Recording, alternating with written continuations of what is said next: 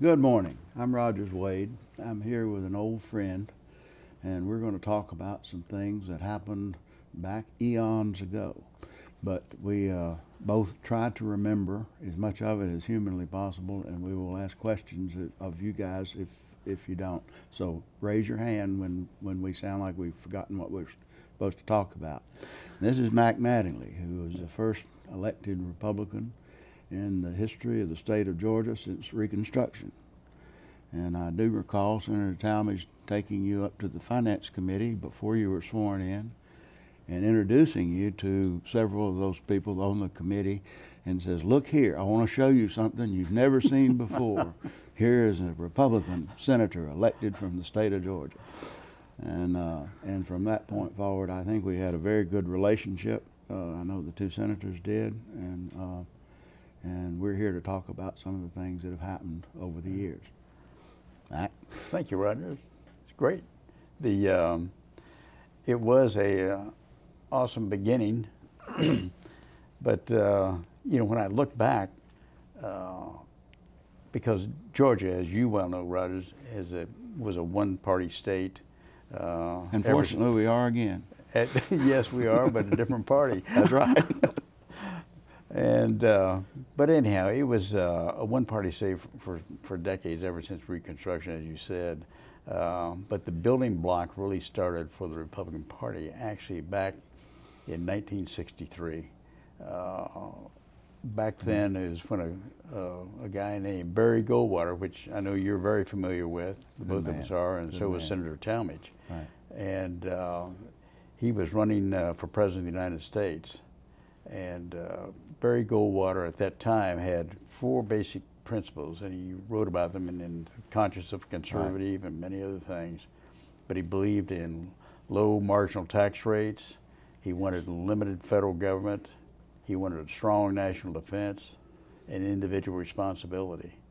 And those building blocks that he ran on in 1964 mm -hmm. uh, as president uh, actually what happened, the Republican Party was ruled by mainly the up east liberal mm-hmm. element. And east, up east. Up east, as we refer to them. And uh, we sort of wiped them out and replaced them with the Goldwaterites. Mm-hmm. And, and that's how it first initially started. And sort of caught fire because those four basic principles here in the state of Georgia caught the attention not only of Republicans, but of Democrats right. and the independents. And it just began to build back then with uh, Barry Goldwater. Mm-hmm. And uh, in fact, if, if you and I both recall that uh, I believe it was in Columbus, Georgia, where they produced the Goldwater drink. Um, RC Cola. RC Cola did it for us. yeah. Anyhow, so that sort of was the beginning of the uh, the building blocks for the mm-hmm for the Republicans in the state of Georgia. And as you recall, uh, in 1966, and Bo Callaway ran for governor. Mm-hmm. Uh, I mean, in 1964, he ran for for Congress, Congress and won on on the coattails, basically, of Goldwater back mm-hmm. then.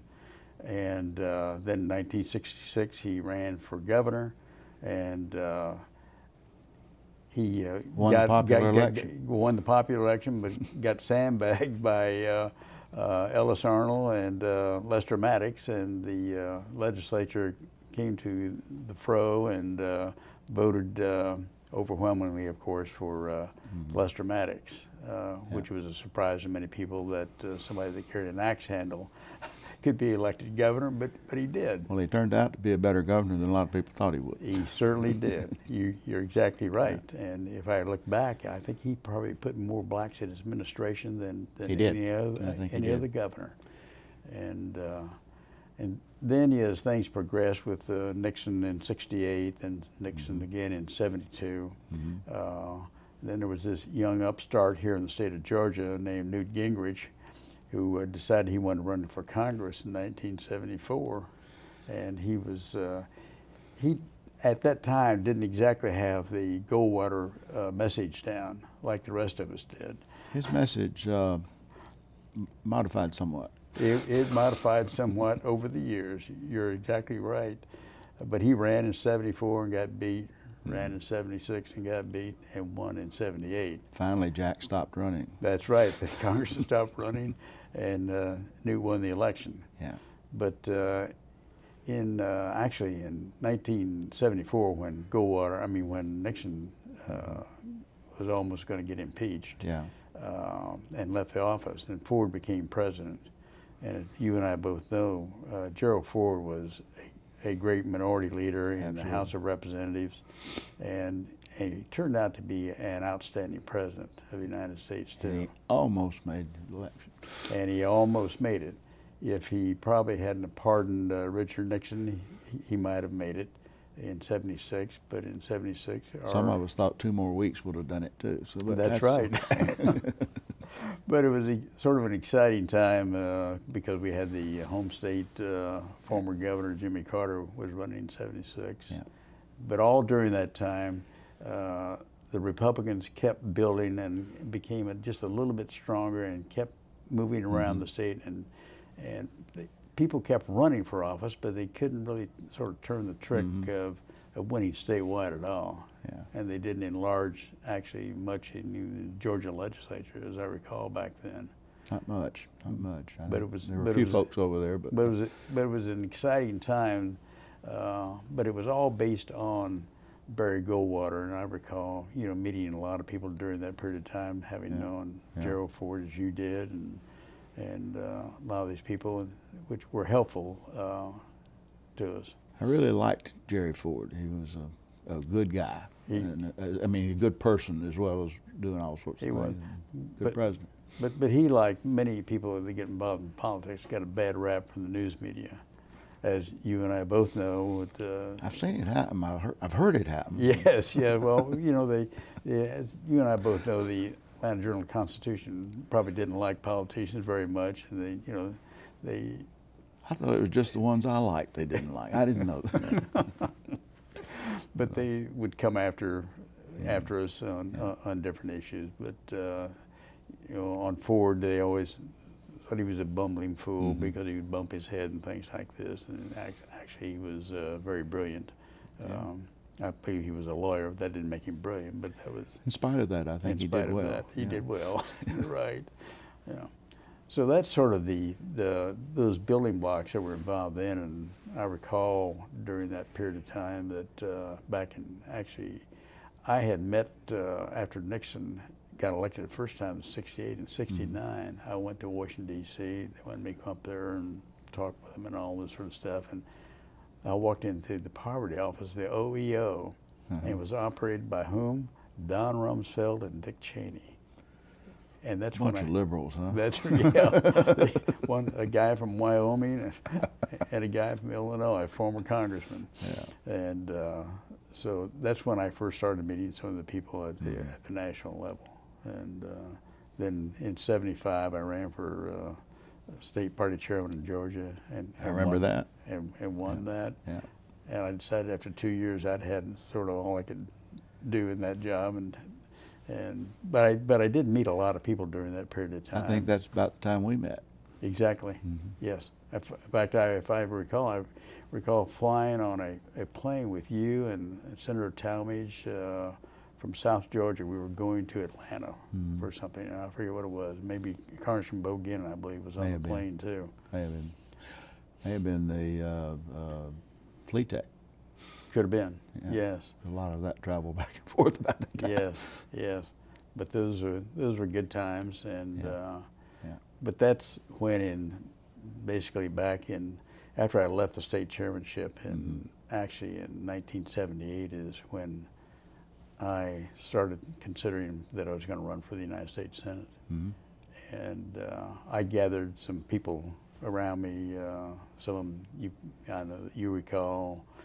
Um, In well, Gingrich is one of them, but uh, also like uh, John Linder and um Bob Teeter, who was a national Remember pollster, Yeah. and Buddy Bishop, who was a consultant, uh, Mhm. and and some other people. Yeah.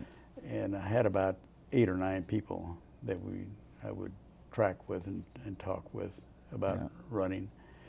And I recall that they said, well, you know, you need to make certain you set aside some money because they come, you know, in order to make your family survive during this period of time. Because I knew that uh, That has kept a lot of people out of office. Exactly. Money, money will do that.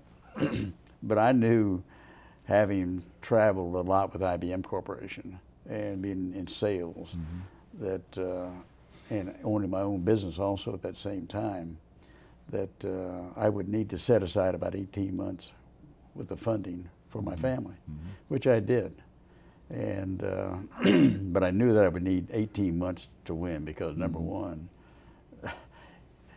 you had to really put some a lot of effort in even to get recognized. And it was going to be a long time before you ever got recognized. You had to mm-hmm. accept that. So i started traveling the state. And that's when you understand how big the state is. It's huge. it's the largest state east of the mississippi river and it takes a long time to get around there. Anytime I've ever talked to any congressman who thinks about running for statewide office, who's senator or the governor or something like that, try to explain that it's a lot bigger than that district. Exactly Don't matter what that district size That's is. exactly. And I think back uh, back then, I believe that uh, I recall the first time I ran was in uh, '66. I ran for Congress against Uh-huh. Bill Stuckey. That's Mhm. when I, in the bloody eighth. right. That's when Bo Callaway came up with the great idea that if he was going to run for governor, he ought to have eight soldiers out there running in, in different congressional districts. And that's when we found out that uh, number one, with Lester Maddox at the head and the other side, that six of us were going to get killed, and we did. Well, you got to remember, he went to West Point, and they believe in a charge up the hill, and there's going to be casualties. That's that's right. and there were casualties. They did, but it was it was a lesson learned though. yes. So I knew what Unfortunately, they're expensive lessons. you're, you're exactly right. The uh, which gets into the uh, you know the uh, the campaign that, that, that started basically for me back in '78, and uh, what was it like trying to trying to break through that ceiling that was in there, and, and it wasn't as much personality as it was custom. Uh, That's to right. break through running as a Republican in a state that the last time they saw one, they hung him. So- Yeah, that's right. Well, if you know, it sort of started out knowing that it was going to be an uphill Yeah. Effort, and and not to be worried about anybody knowing you because Yeah. they're not going to know you if when you start out with 0 Mhm.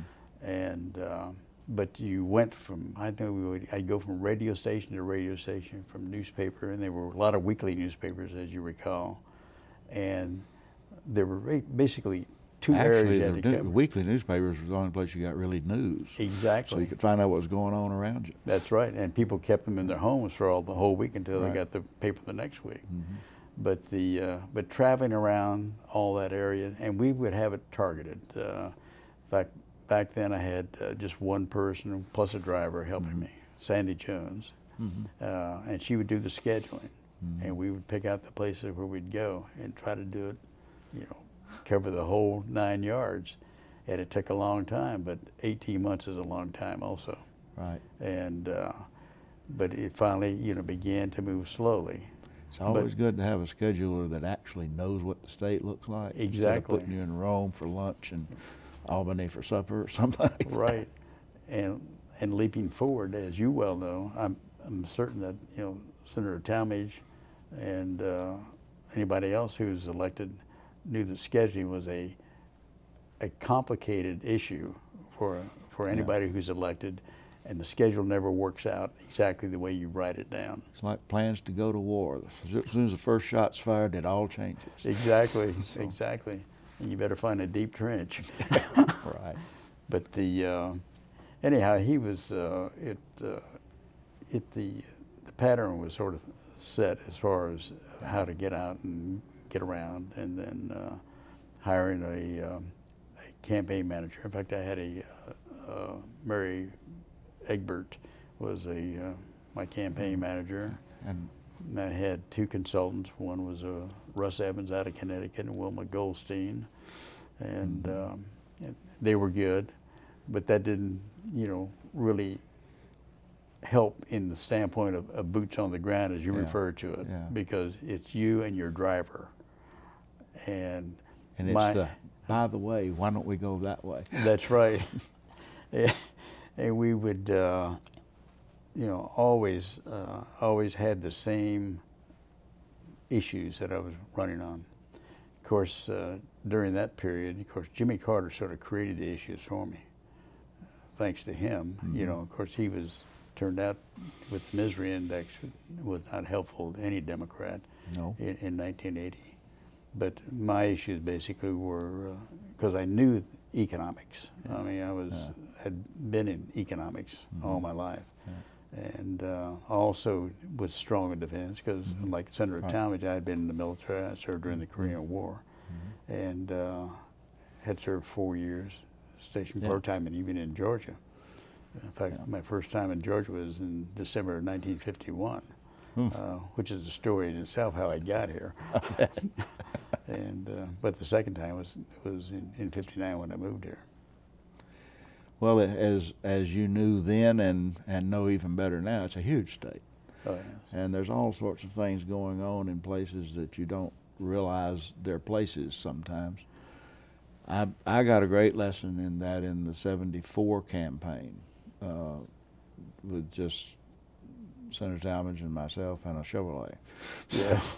but uh, you covered a lot of things, and I, I went into places that I didn't know, and, and you, as you know, he had a memory like a clock in those days, and uh, they he would say, "So and so lives up this hill." I don't think we can get up that hill. oh yeah, and you, up you go, you know. But those kind of it, it, people don't realize how the state has changed now Yes. with the modern side of television and Mm-hmm. thing. Uh, it seems like to me there are a lot more people that run for office now instead of doing the preparations that you did and the and the homework Mhm. that you have to do to make Right. make these things work. They get first thing they do is hire a consultant and cut a five minute ad, Right. and that's about the end of their campaign until Right. they cut the next ad. Right. You never see them again. And So- you know what they don't understand is the value, and I know Senator Talmadge did this like I did, is meeting people and talking with people Mhm. and finding out what their thoughts are. In other words, just not running your mouth all the time, but Yeah. listening to other people, because that's how you build trust, and Yeah. that's how you build support. And Yeah. that's and that's where the candidate comes in. because You've got to have a candidate and one other person in that campaign that can call BS. That's, that's, that's true. That's true. The rest of it, they can all worry about. So, That's right. That's right. But you brought up about, you know, the communication thing and technology. Of course, Yeah. back you know when he first ran, and then even in 1978 when I began running, uh, Television and it, there was there wasn't any technology. There was a telephone and payphones right. where you would try to didn't have these things, and you didn't have anything. That's right. And people don't understand how much easier it is in today's world. You can cover Georgia, so to speak, via uh, a cell phone and contact people, talk to them, message them. But you couldn't do that back then. No, It's uh, I can recall the days when you set up calls with the operator. yes, And that's true. They would have a list of them to go down. As you hung up, they'd flood another one in. That's right. That's right. And that was a so it and it it was less about money then too. Yeah. It was more about covering the territory. And I think that's where I had an advantage over probably other Republicans because I knew, because I had been around this state much. You went so- out and worked. That's right. And most of the people that had run, particularly for statewide office up to that point, probably had not gotten very far out of the confines of Atlanta. Right. And that, and uh, there's some of them that are our friends, and some of them that uh, that will not be happy to think of themselves as country club Republicans, but that's what they were. Exactly were. You're And- right. and, You're uh, right. yeah. But you know, that's where I, I knew I had, when I was with IBM and all the times when I worked, Right. even when I was making 30 cents an hour in a hardware store years ago. But, you know, you, you knew uh, how, to, how to meet people, you know, you, and you knew you had to build those relationships. And, uh, and that it took time and it was like trench warfare. I mean, you just it wasn't warfare, but you know, it took hard work, and I, you know, I did that six days a week. I didn't do anything on Sundays, but basically because you need rest and clean clothes. and uh, the only thing I can recall was coming back sometime on Saturday nights is listen to uh, Prairie Home Companion. so, but it was. Uh, Good philosophy there. yeah, it, well, it was. It was. Listen to the right people, you know, you, you learn. But the uh, but the 80 campaign, uh, as you well know, I mean, my primary, uh, you know, back, you know, back in '66 when I ran, you you file by petition, and at least by the time 80 rolled around, it was you'd be on the ballot Right. and you qualify. I, I recall qualifying with the Secretary of State, and uh, I think we had about three or four people running in the uh, primary, and of course the primary for the Republican side was a, pretty much a foregone con- conclusion, Yeah. and. Uh, but, Well, up uh, until that year, so had the Democrat. exactly, exactly right. And uh, but uh, in uh, when the when we I finally got down to the decision point, uh, I had finally said, "Let's all gather," because Gingrich had just gotten elected in '78. Yeah.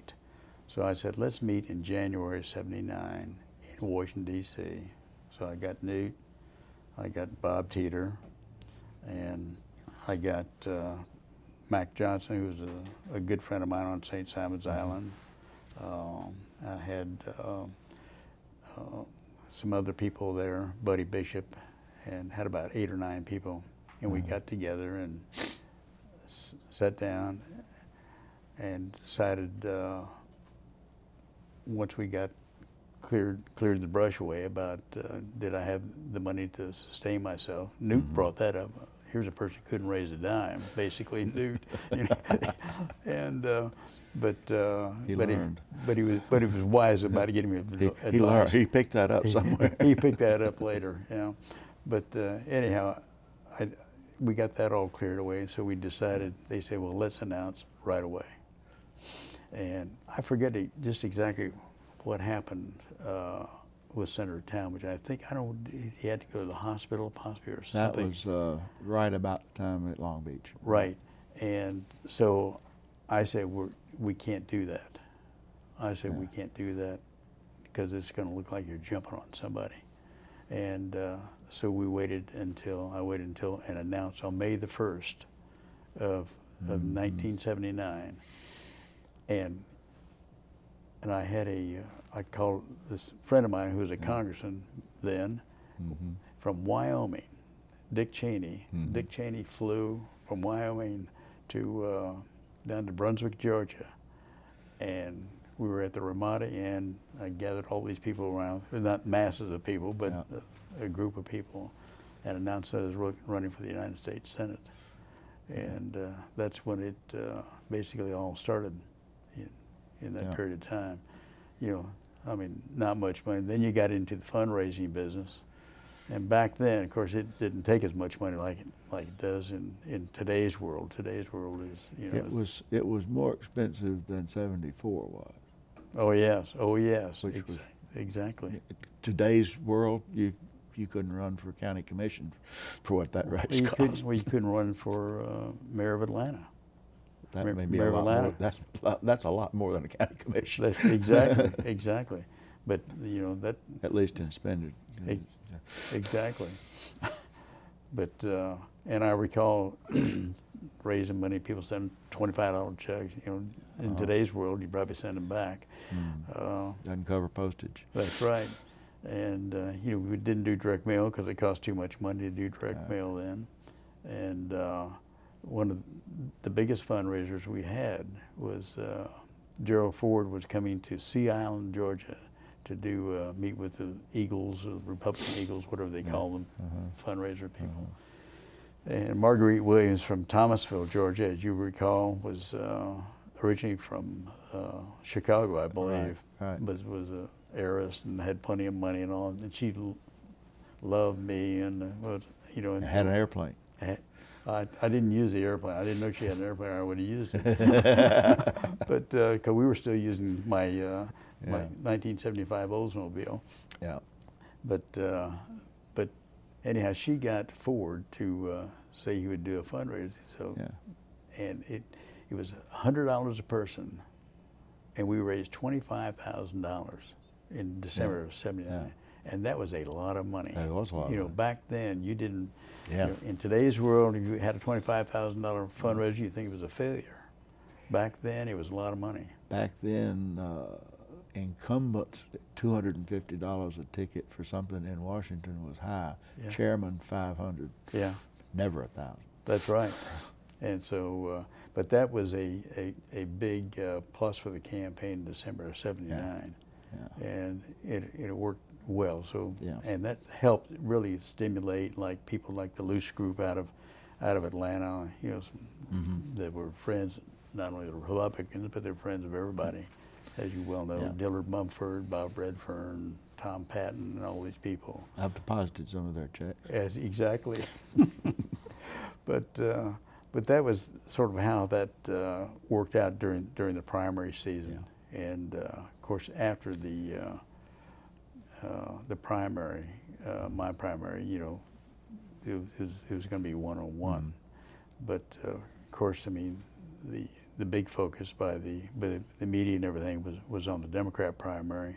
It was bloody. It was bloody. They had, uh, I think there was something like uh, four or five people in the primary. Uh, they had uh, Senator Talmadge with Norman Underwood and Dawson Mathis and Zell Miller and I forget who. There's There another were- one. There's another one. Yes, I forgot who that was, but uh, Must not a state law. not stayed long.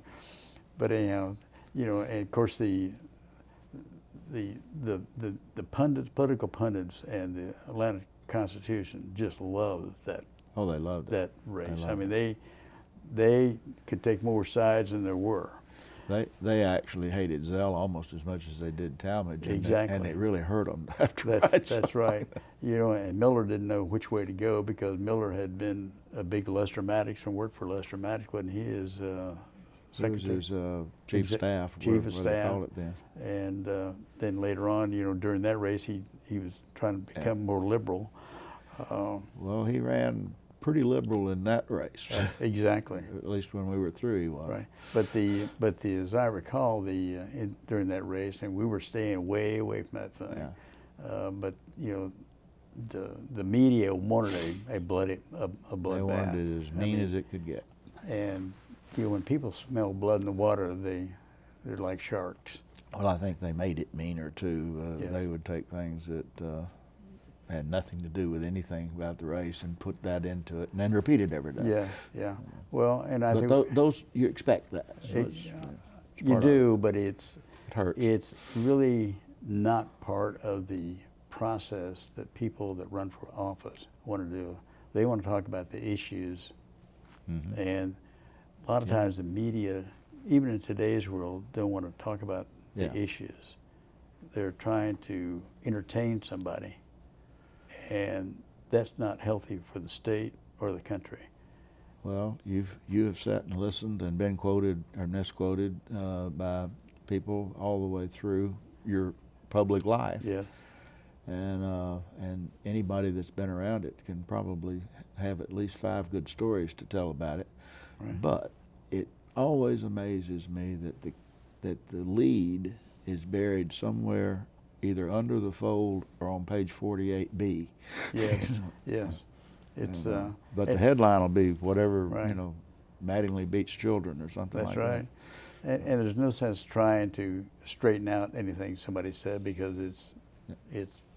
They got more that- ink than you do. exactly right. But anyhow, that primary turned out, you know, turned, of course, you ended up in a runoff. And uh, of course, the, as I recall, the Atlanta Constitution knew that Zell Miller would beat Senator Talmadge in the primary, in the runoff. They They just knew. they pretty strongly believe that. That's right. And as I recall, A number of people did. Well, yeah, but Senator Talmadge clobbered him in the. Uh, well, we went back to the fact type thing. And That's right. remember, we did have a we had a T thing here. How much it cost to do all the proposals that That- had been made. That's that right. Campaign, and I think the uh, the dollar amount you could have run maybe 14 or 15 South American countries for several years on. That's right. That's right. That's right. It's uh, But we also knew where it was coming yeah. from. But the good thing about you know, you know, I think that Senator Talmadge and Russell and I know myself were pretty consistent in what we believed in, and that you know, and that is, I don't care what anybody says, you know, but but the facts are the historical facts are are still there. Well, I don't, I don't mean this in any way to, to be. I hope it doesn't compromise your situation, but I don't think that there's a heck of a lot of difference in philosophically, you, Senator Russell, Senator Talmadge, Senator George, mm. any of the people that you go back through that, that actually did something for the state. Mm. It's, a, it's a fiscally conservative, moderate state. And I think we're we're a center right state. We've always been a center right Yeah. state, and I hope we stay a center right state. Yes, I agree. It it, it has worked well. The, it's just uh, R's and D's have changed. That's right. you're, you're right. The uh, and uh, you know, but the of course the, the thing that really impacted you know, think the general election. Uh, Yeah. Looking back, you know, I, think people probably thought that after the fact that Mattingly was crazy that he was running for the United States Senate when the President of the United States was from Georgia. That uh, you know, how could you? And, and they were right from the standpoint that I thought it was a masterstroke. well, yeah, but but the thing about it, he was going to carry the state. There was no doubt about it. I mean, his home state, like uh, Barry Goldwater, very similar to when he ran in '64. He carried only carried six states. I know. He- this was one of them. But we were one of them, and, and the home his home state of Arizona, and the same thing with Carter. He was going to carry Georgia no matter what anybody said, and uh, even though people were impacted tremendously by the, I think you'll agree that, I think they quoted this from the, uh, the Carter administration about the misery index that they had, Malaise. huh? That they had. Malaise. That's right, malaise. I thought had, that went on a salad, but it was on. uh, with the uh, you know the high interest rates, interest rates were over ten percent. Inflation rate was closer over to ten. 20. I had to buy a house Exactly. Yeah. I bought mine earlier with the VA loan, but I was out of a job. yeah. but uh, but anyhow, the the economy was in just shambles. It, it's very similar to what happened, uh, you know, in, in later years with with Bush. Uh, it was in shambles at uh, in 2008, and uh, Do you see a parallel in there on the hollowing out of the military and the mess that we've got in foreign policy now? yes, I it think I think it was the same. I think uh, you know, looking same back to kind of feeling. same kind of feeling. I think back in um, in '80 uh, when Carter was running, you know, we had the problem that he had sort of defanged the CIA um, and issues He and like Senator Church did a good job on He, he sure did. And destroying the CIA. that's right. And you know, and it sort of built the set the stage for what was going to happen in November. Mhm. even with you know Reagan was running, and uh, and he was he was good. Uh, I wasn't taking a position on you know with with Carter running for president. I didn't want to alienate anybody in the state when I was running because I wanted every vote I could find. Yeah. And uh, it sort of turned out that uh, you know the the issue of Carter became sort of a, a non-issue as, as far as in the race, even though Right, he right. carried, he got 57% of the vote. Yeah. And Ronald Reagan only got 41% of the vote. Yeah. And you know, Ronald Reagan made the comment to me before he got sworn in. He said, Mack, he said, "your coattails weren't long enough to drag me across the finish line in Georgia." so he always had a good, funny story for everything. He did. He Yeah. did.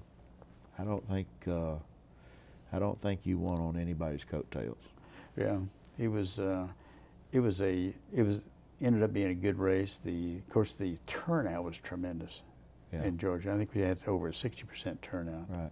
and across the country was a big turnout. And then there was this sweep. They elected sixteen new United Republican United Right. States senators, Right. and uh, it was phenomenal. But you know, of course, you look also, and that you know what brought that out. A lot of it was a the the economy was terrible, and number two, the the turnout was high. And a very similar thing then six years later happened. Uh, Mhm. of course, it was a non-presidential year. Right. It was the lowest turnout, forty percent. I mean, in forty, I mean, lowest turnout in forty years, Yeah.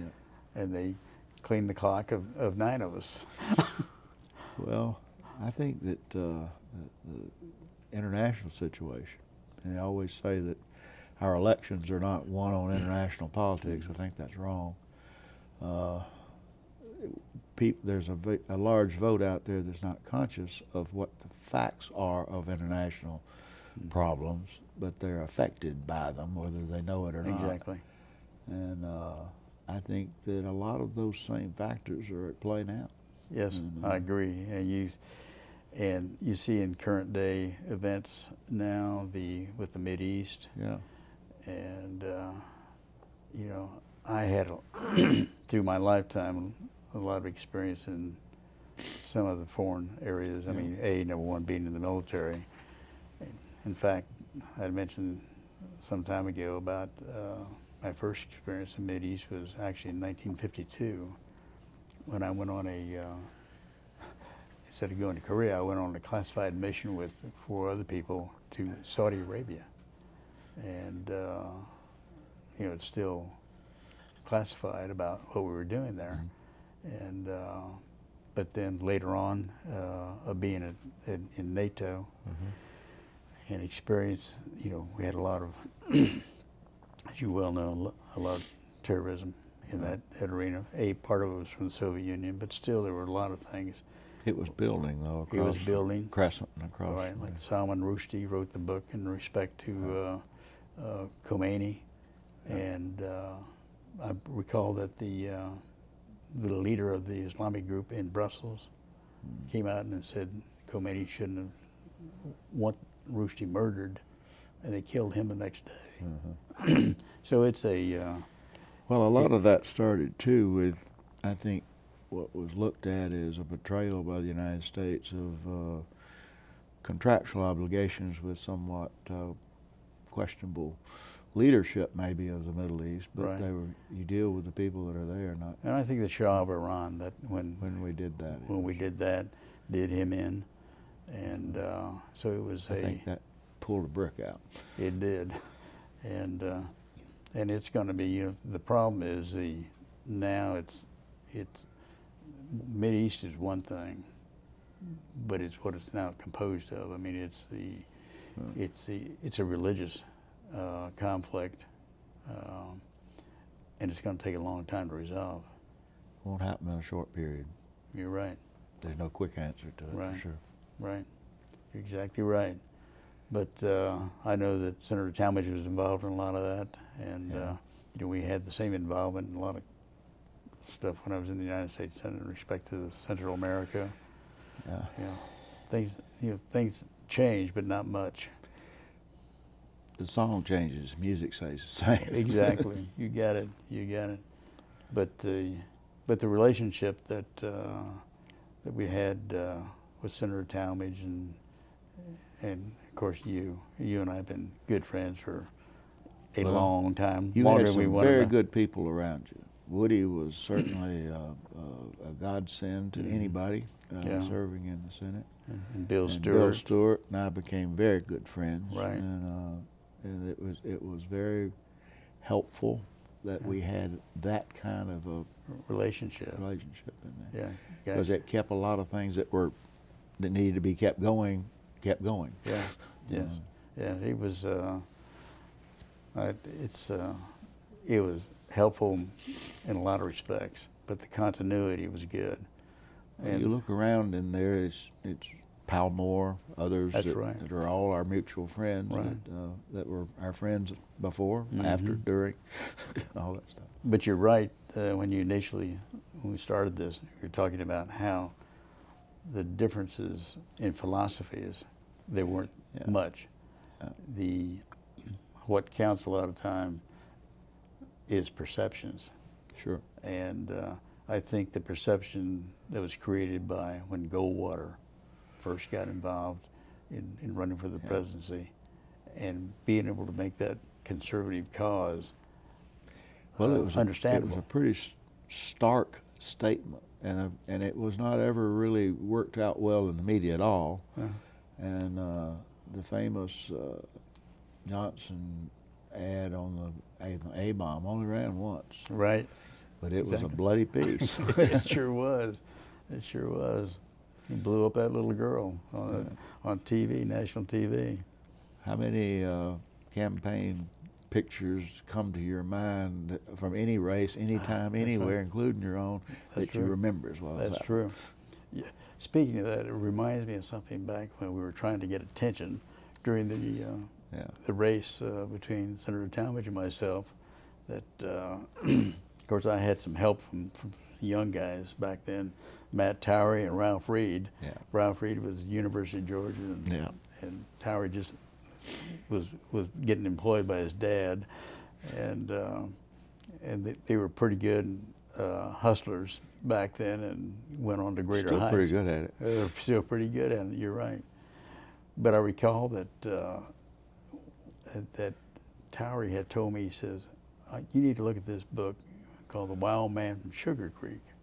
Because we were having a hard time getting any attention there for a while in, in the race, even after the uh, uh, the primaries were over. So uh, I know that uh, Senator Talmadge, uh, and I don't blame you. I wouldn't want to debate me either. I mean, why give anybody any more publicity? And I think we had one debate, and that was it. And uh, but I don't blame him for doing that. But Well, there if- was, but if there was, anybody ever tells you that they tried to get Senator Talmadge to uh, debate you after the pr- Democratic primary was over, and uh, and they couldn't get, they're lying to you because it was a universal thing. No, No, debates. yes. Go to Washington, and get the blood out of the floor. Exactly, exactly. And I, you know, that's good, good politics. I don't, I don't Well, blame. that That's that's a fact. That's a fact, right. Anyhow, so, but anyhow, reading that book from The Wild Man from Sugar Creek, Yeah, the way they, they got attention was, if you recall in that book, they would, they had an issue in there where the man wouldn't campaign, wouldn't, wouldn't debate Yeah. this guy. so he went out and wrote questions. And they'd go out on telephone poles and tack them up. Uh. and we did that. yeah. So we'd put questions out and just and we'd tell the news media, we'd give them to the news media and say, if you see Senator Talmadge, ask him these questions. and not that it was going to happen, but Yeah. it created, you know, it, it had a little humor to it. Yeah, And yeah. it wasn't meant to be vindictive or anything else, but it was, uh, you know, talk about the Panama Canal, the B-1 bomber, or whatever it may be. Why aren't you for the Kemp-Roth tax Right, cuts and right. things like this? It. Uh, Good tactic, I guess. that's right. But it was, uh, but there was some, there was humor in the campaign. That uh, book, The Wild Man Sugar Creek, the fellow that wrote it, I cannot recall his name, but uh, started that during our 74 campaign. Is that right? And um, at that time, Miss Mitt was still alive, and, and she was sharp as a tack till the day she died Yeah. at 100. And, uh, but she liked him, and so therefore she talked to him, and that meant that everybody else surviving of that that vintage Mhm. would talk to him. So the first part of it, you got some really interesting political history out of it, of the 30, 20s, 30s. Yeah. And, and she somehow, that guy asked her the wrong question.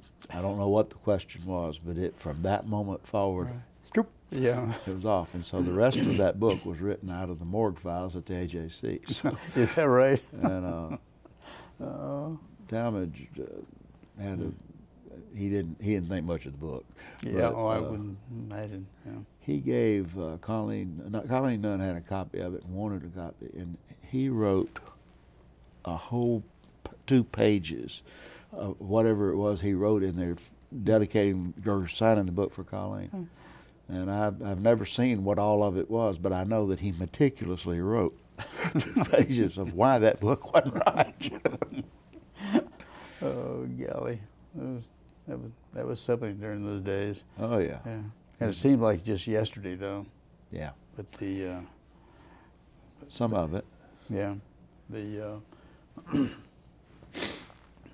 Nowadays, nowadays, all you'd had to have done was do some good social media. You would put out Twitter accounts on, in this thing and been quoted all over the world. right, right, right.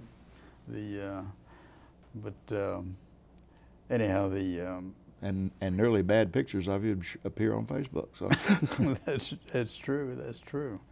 The um, but but I also recall uh, one thing after the race. In fact, after I left the United States Senate, and, and then when uh, Senator Talmadge passed away, Mhm.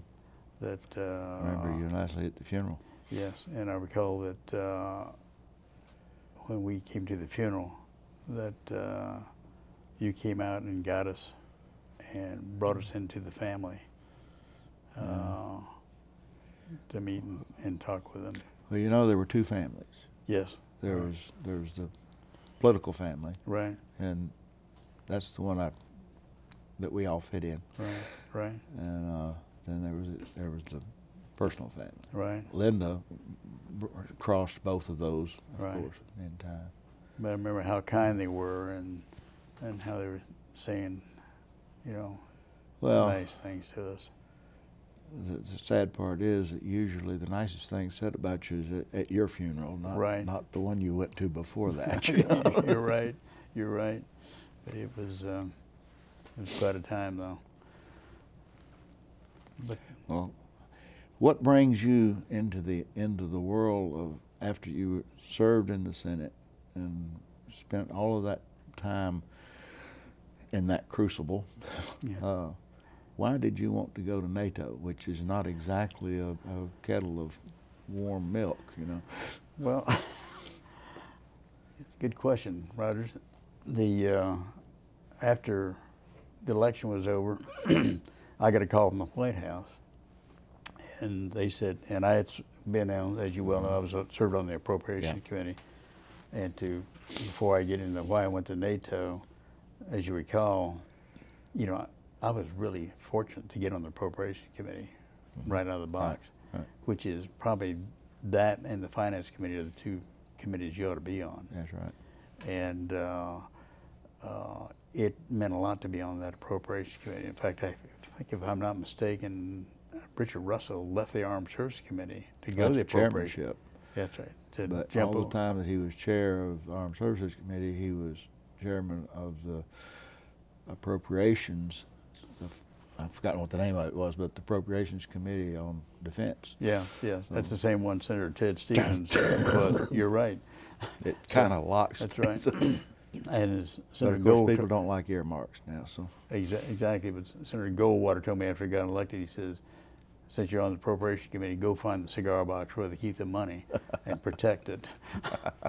But the, uh, but anyhow, the White House had called me to, uh, about, uh, they wanted me to take a, a, Yeah. a job and wanted me to become head of either Freddie Mac or Fannie Mae, having been on the uh, banking committee. And, and they said, you know, you make a lot of money. Those guys made a million or two Right. million dollars a year. yeah, And I said, uh, no, I said, I think that's sort of a conflict. And uh, so they called back later and said, uh, would you be willing to go to NATO as Assistant Secretary General for Defense Support? And I said, I'd, I'd think about it.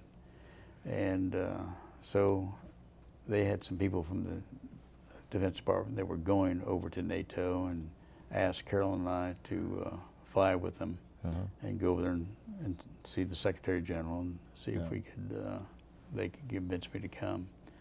and that's basically is how I got to NATO. The um, and uh, as you well know, at NATO, the treaty back then precluded uh, a U.S. person being Secretary General Right. or Deputy Secretary General. So the highest office was the Assistant Secretary General for Defense Support, which we covered all the air, land, sea uh, armaments, Yeah. plus C3I command control, communications, and intelligence. And I had uh, roughly four directors, one German, two Brits, and a guy from the Netherlands. From 12 different countries, people Yeah. working for me and uh, it was an exciting time. Of course, it was you know high tension as as what NATO was, um, and it was uh, quite an experience. Not only dealing with all the weapon systems, and as you recall, there we had mine was mainly conventional, except we had a lot of dual purpose, meaning both conventional and nuclear.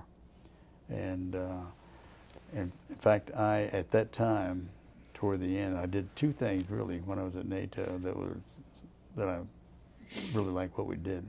They never had the any organized fashion for UVs, meaning unmanned vehicles. Right. So I organized the unmanned air, land, and sea vehicles, Huh. and we see what's you know that is not what started it all in, internationally. We see the use of unmanned like drones today. And I recall returning when I developed the, the program. I remember Department of Defense, the United States Air Force, was went ballistic. They said, "You're trying to wreck the U.S. Air Force." I said, "What are you talking about?" They said, "Well, you know, this will impact how many planes we can build." I said, "Yeah, but look how many lives you will save, because the drones are. I mean, But look how many general officers you keep out of the, the stack if you don't have them exactly. in cockpits. so I went over there and made a, a speech to the unmanned vehicle uh, Yeah. in Washington D.C. And uh, it to the, I, in fact I cleared it with the president before I went to do it, and uh, I said, you know, the Air Force wants to make certain that it has a scarf around its neck and somebody in the, in the cockpit. And I said, what I want to do is save lives for reconnaissance and, and also uh, more targeted type missions. So we worked that out. And the other thing that uh, they had tried for years to have a conventional armaments planning system at NATO headquarters, and they hadn't been successful. And uh, so I also went to work on that. And actually, I, you know, the French weren't exactly happy campers at NATO, uh, as you well know, and uh, and sometimes would uh, get in discussions and not be helpful. So I did a. I never heard that. You never heard that. so I did a back channel trip to France Yeah. and met with them and convinced them that they, we needed this system. And they said, okay, here's what we'll do. We'll act like we're not for you. And we'll not stand in your way for writing this new document and developing this program. And, but at the end, we'll vote and we'll vote for you. So that was all Good done enough. back channel. And I came back and so it took about six months. And Yeah. sometime later, to the surprise of me, Department of Defense gave me a Distinguished Outstanding Medal for, uh, Yeah. for developing the CAPS program. Well, more important things happen back channel than they do on the front channels. Amen, amen. but you talk about uh, going there, you know, there were, back when I went there, they had 5,000 Soviet tanks Yeah. on the line They Fulda gap. in, in the Fulda Gap. Yeah. And in fact, I was in the last maneuvers on the Fulda Gap. It was General Jack Galvin, who was a great uh, commanding general over there. But it was a high tension time. And that's, of course, when, you know, eventually the Berlin Wall came down. I like to take credit for that, but it wasn't me. I think the, actually, the uh, Margaret Thatcher and Ronald Reagan and, and the Pope had more to do with that than anybody else.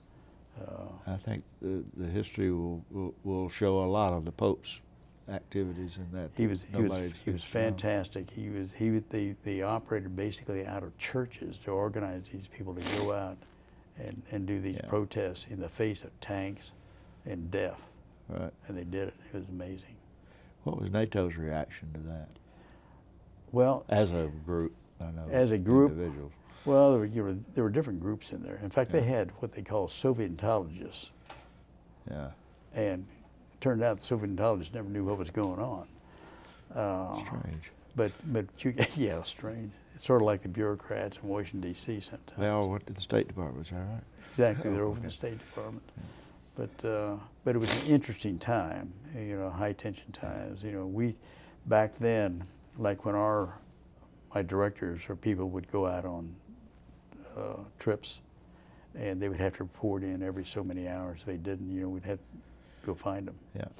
And uh, I remember that uh, even when I would go different, because I traveled all the countries in NATO and met with all the military leaders and these things. And uh, you know, sometimes you'd you'd think you were going to go on a trip, and then you had to call it off because of security. Yeah. And uh, but it was the intelligence at NATO was probably better than some of the intelligence we had in the U.S. But Didn't get filtered as much. it didn't get filtered as much. We had, I would go get my intelligence not only from NATO, but I would get it also from the U.S. section. Yeah. And we had, uh, we were cleared for, uh, there was only about six of us were cleared for, uh, I forget how, atomal-cosmic is what they call it. Ba- Basically, is like top clearance, Right. you know, not Right. even topper topper type Yeah. stuff. So, but it was a it was a good time.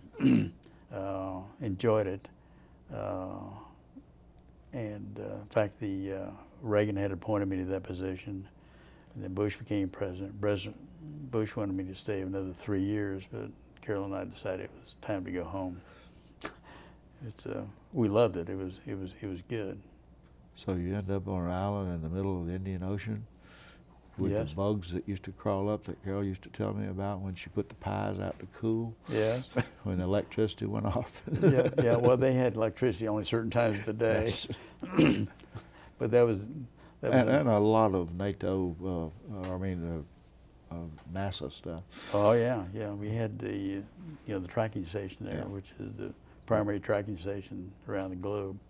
Finally moved it to Diego Garcia, Yeah, but it was uh, it was a ownership's different. That's right. It was, a communist country then when I went there, and uh, so and um, started out as a uh, French colony, then a British colony, and Independence rears then, its then, head. then independence, and then they, a year after they had independence, they had a coup. Yep. And Diego Garcia is a little more stable. Yeah, it's a long way off though when you need help. Yes, it is. Yeah, right. But we've got a lot of people there. We sure do, sure do. Out, out there in the middle. Even some of your neighbors from down in Camden County. Hey, you're right. You're right. That was a I think the Georgia's there now. Yes, it is. It's uh, in fact the uh, if you recall when the uh, it was uh, commissioned. I sp- do. I, I spoke to the commission. I think you were there. I was going to bring up the fact that the Georgia is now out there, but it still has something in the wardroom that uh, you gave them. Yes, it is. Um, in fact, I'll never forget how you and the rest of you and Stuart uh, got this because you have to give a, a gift to Yeah. the uh, Yeah. to the submarine. And after we made the speech, that uh, I knew what the gift was going to be. It was a was a shell from the CSS Georgia. Georgia, and uh, it's now in the uh, room uh, with a plaque. Uh, It's in the officer's wardroom and that's right. right on the corner. You can't miss it. That's right. In fact, you know, we, we tried to get the Georgia station there when I was uh, Yeah. in there, and they didn't. They stationed on the other coast, and uh, later on, it did come to Georgia. In fact, Leslie and I went down there and and visited the submarine, and Yeah. along with Lindsay Thomas and everybody, and we had we had a great time. And it was good to see that they still had the shell there from, from the state It's- of Georgia. It was there the two days before it sailed for Diego Garcia. I, That's I saw it. That's So, right. That's good. No, that uh, the, the quote that's under it is what I like. Is this this is a, a gift of uh, That's right. a shell has found its finally found its proper resting place that from where from whence it began That's right. below the waterline of a United States ship of the line. That's right. That's right. It was that was quite an occasion. It was, it was. uh, Both the Georgia people turned out in Connecticut for that, didn't they? Yeah, it it was. was. It was a massive. Uh, we talked about a, a lot of things around the race, and in that, and we could probably go on for hours about various pieces of it, most of which neither one of us want to do. But uh, talk to me about what kind of polling you went Mm. into, and how you how, how you did it, and where where Yeah. would you come up with it? That's, that's a good question because the the man that I used for polling, and I think you probably knew him for his reputation, Bob Teeter. I got to know him later in in, in another life. That's right. And uh, Bob Teeter was great. He Yeah. he had polled presidential races Yeah. b- before, and I had used him in uh, when I was state chairman. This is when I Mhm. first met him, Mhm. and so I used him in '75 when I got elected state chairman. Uh, I was uh, I knew we needed to organize the party different, so I created something separate. I call it the Long Range Planning Committee Yeah. and I had uh, people that you would know on there. I had, uh, uh, I did have Bob Teeter on that, Mhm. and I had the two uh, consultants that I used later in my '80 Senate race. Had Newt Gingrich, had uh, Bob Irvin, Paul Coverdell, uh, John Linder, Johnny Isakson, Mhm. and and all those were on there. And what we wanted to do was organize that uh, the state and people candidates to run on messages and on the conservative principles. Yeah. And so that's what that long range planning committee was all about. And even to this day, people like John Linder, who no longer lives in the state of Georgia, reminisces about that and where we'd hold the meetings, we'd hold them in Atlanta, down on St. Yeah. Simon's Island. And it was really a strategy type Yeah. sessions, and it worked. And later on, then Teeter became my pollster when I ran in. Uh, in I asked him if he was going to take a poll when I announced in '79. He said, "I don't think he'd mark anything more than zero." but as the campaign progressed, uh, he, he we didn't do that many polls. Yeah.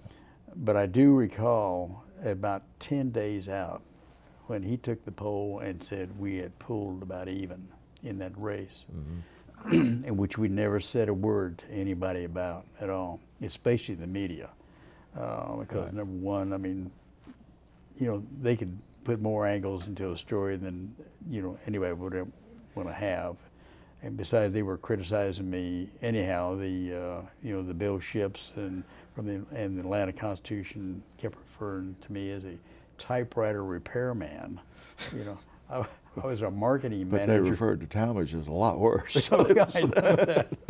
but I was a, a marketing manager in That was a step up. I for sales with IBM Corporation. Not that being a repairman Uh, yeah. is, is bad, but you know, I was a, a salesperson in marketing and Yeah. managing that made a lot of money. Yeah. and I was good at it. yeah. And uh, so they would try to, you know, stick the needle in, which I never could understand why anybody wants to do that. I just, to this day, I don't understand why I think they it's want just to to sell newspapers. I, I guess you're probably right. You and I both know Bill Shipp. He's uh he he can write on either side of any question you want him to go on. Oh, you're right. And I've known him a long time. I know. I, I recall that when I, this sort of diverging a little Yeah. bit here, but when I was at NATO, and he had written this article. Now Reagan had appointed me to NATO, Uh-huh. then Bush became president, and he put this article out that George Bush Mattingly was doing such a lousy job at NATO, and George Bush was was was going to get rid of him. And George Bush at the same time was asking me to stay three more years and and gave me a, a medal from the Department of Defense, you know. So, so I thought, who, why, why is this guy saying this stuff? You that should never made let up? facts get in the way of a good story. I believe I that's guess the that, quote. I guess you're right. You're right. but which gets back to here at the University of Georgia doing these historical interviews. And one thing good about this is dealing just with facts. You know, I've never worried, ever was concerned about a legacy. Mm. I think if anybody wants to know about Mack Mattingly, they need to look at history, the facts of history, not from a newspaper column, in fact, what went on. And as you know, in the United States Senate, you've got the Library of Congress where all the facts are, you know, what you say and what you do. So, uh, Well, one of the great things about this, not just the school and the library, but the Russell uh, Library that's here, will have all of those facts in them. Exactly. And long after uh, you, me, and everybody else we know is gone, somebody will be in here pulling these things up and looking at them, but they'll look at facts. You're right. You're right. And, uh, and it comes from all over the world. Uh, Cheryl's got me talking to somebody from Australia who's doing a paper on some obscure piece of legislation that I had never heard of before. Yes. that Senator Dowling was involved in. Yes. Well, that's that's true. You know, that gets into the legislative thing. That's where, you know, that's where the rubber meets the road, and what you can do, and Well, this is a great function, great, great place for this, and it's a great place for, for this history to be. Yes, it is. I'm glad mine are here. I am too. Yes. I am too. Good. Uh, you talked about the polling though with Bob Teeter, and I think he's a very good pollster, and we used him on several later campaigns Mm, Right. uh, with R's in them. and uh, the polling that uh, that Talmadge had after the Democratic primary was non-existent. Mhm. Uh, I was p- partly kidding about the fact that nobody wanted to do, do debates, go back to Washington, let wash the blood off the floor. But the fact was, we were broke. Yeah. We had about twenty-five thousand dollars in the bank. Mhm. We didn't have any or- anything left around, and Right. nobody wanted to do anything. I went home. Yeah.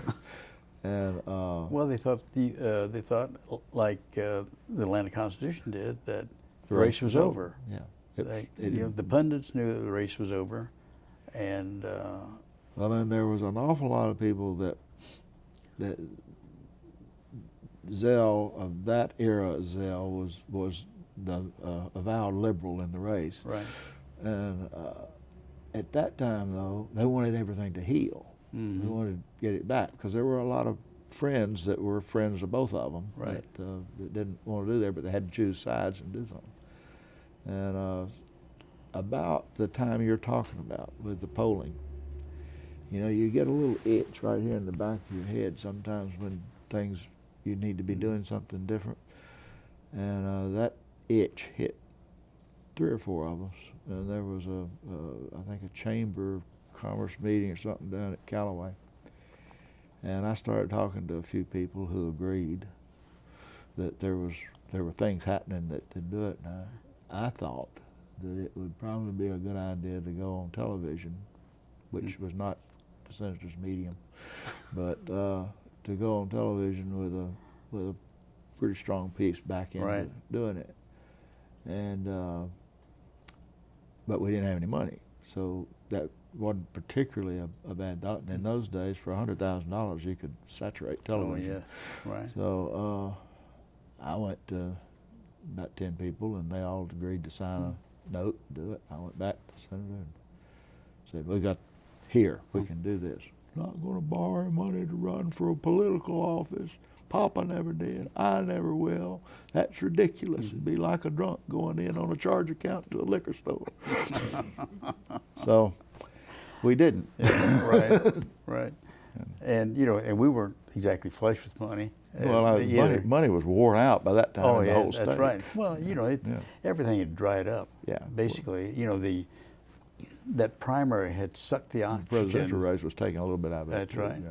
But but the but all the oxygen was sucked out by that by that primary, yeah.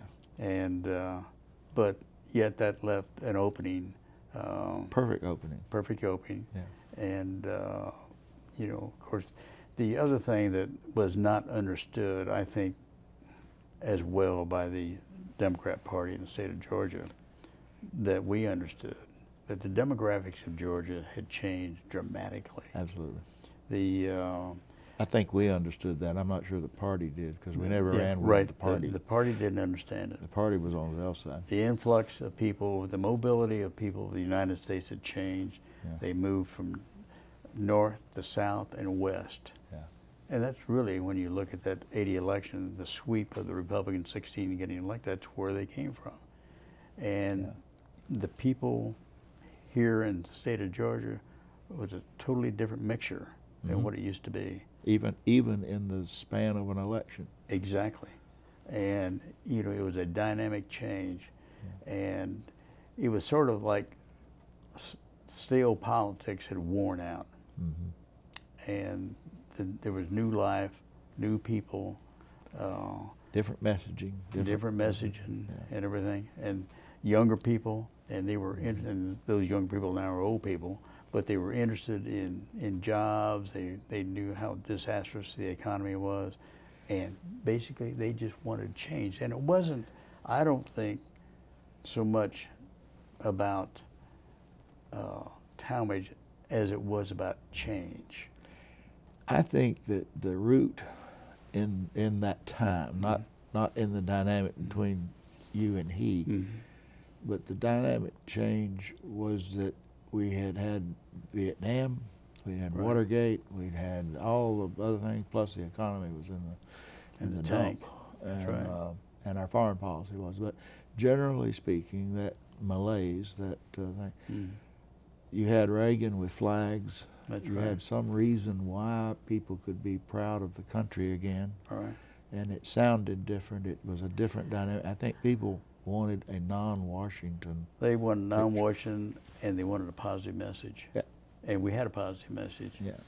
And other people were relying on the past, mm -hmm. and it sort It of was changing. it was changing, and it was a dynamic change. And I think, you know, and you look at that period of eight years of Reagan, Yeah. it was a unbelievable change. Oh yeah. The biggest change I've said several times since World War II, after World War II, Yeah. because what was then uh, in 1981 when he went into office, when we went into office, the economy was in such bad shape.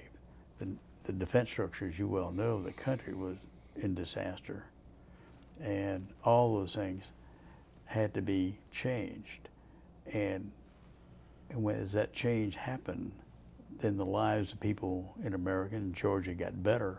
Mhm. Uh, that's what they were looking for. Well, and that's sort of when those dynamics happen. Seems like about every 20, 25 years. Exactly. Uh, unfortunately. Yes, Uh, it does, uh, and I think we're there again. that's right. And you know, it, it's it's happening again. You're exactly right. It's uh, we see here it is 35 years later since that election in 1980, and the same dynamics are prevailing about an economy that's still in the tank. You've got Yeah. a middle class that is suffering. The job creation is nil, basically, and the uh, international situation is really in terrible shape. And nobody, you know, there's a lack of leadership. And that's what they looked for in 80, too. I think we'll see that not only in the national election in 16, but I think we'll probably see it in the states too. I think so. I think you're right. Uh, See, I believe in the states. I think the the to me, that's sort of like a laboratory for what should be done in our country at large. Right. What happens in the states, and you see these states that are making dynamic changes. Here in Georgia is a good example. I mean, it's a one of the fastest growing states in the United States. absolutely. And you look around at these different governors, you look in, in Ohio now, there's a changes being made by these governors. And I think those are exact models of what the, the nation can do. Well, look on Georgia's instance. Uh, we didn't have a movie industry five, six years ago. Right. We're now the second largest in the country, Yeah.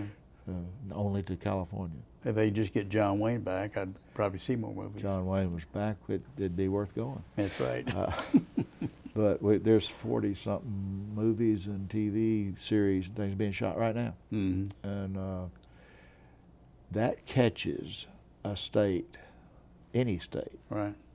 back.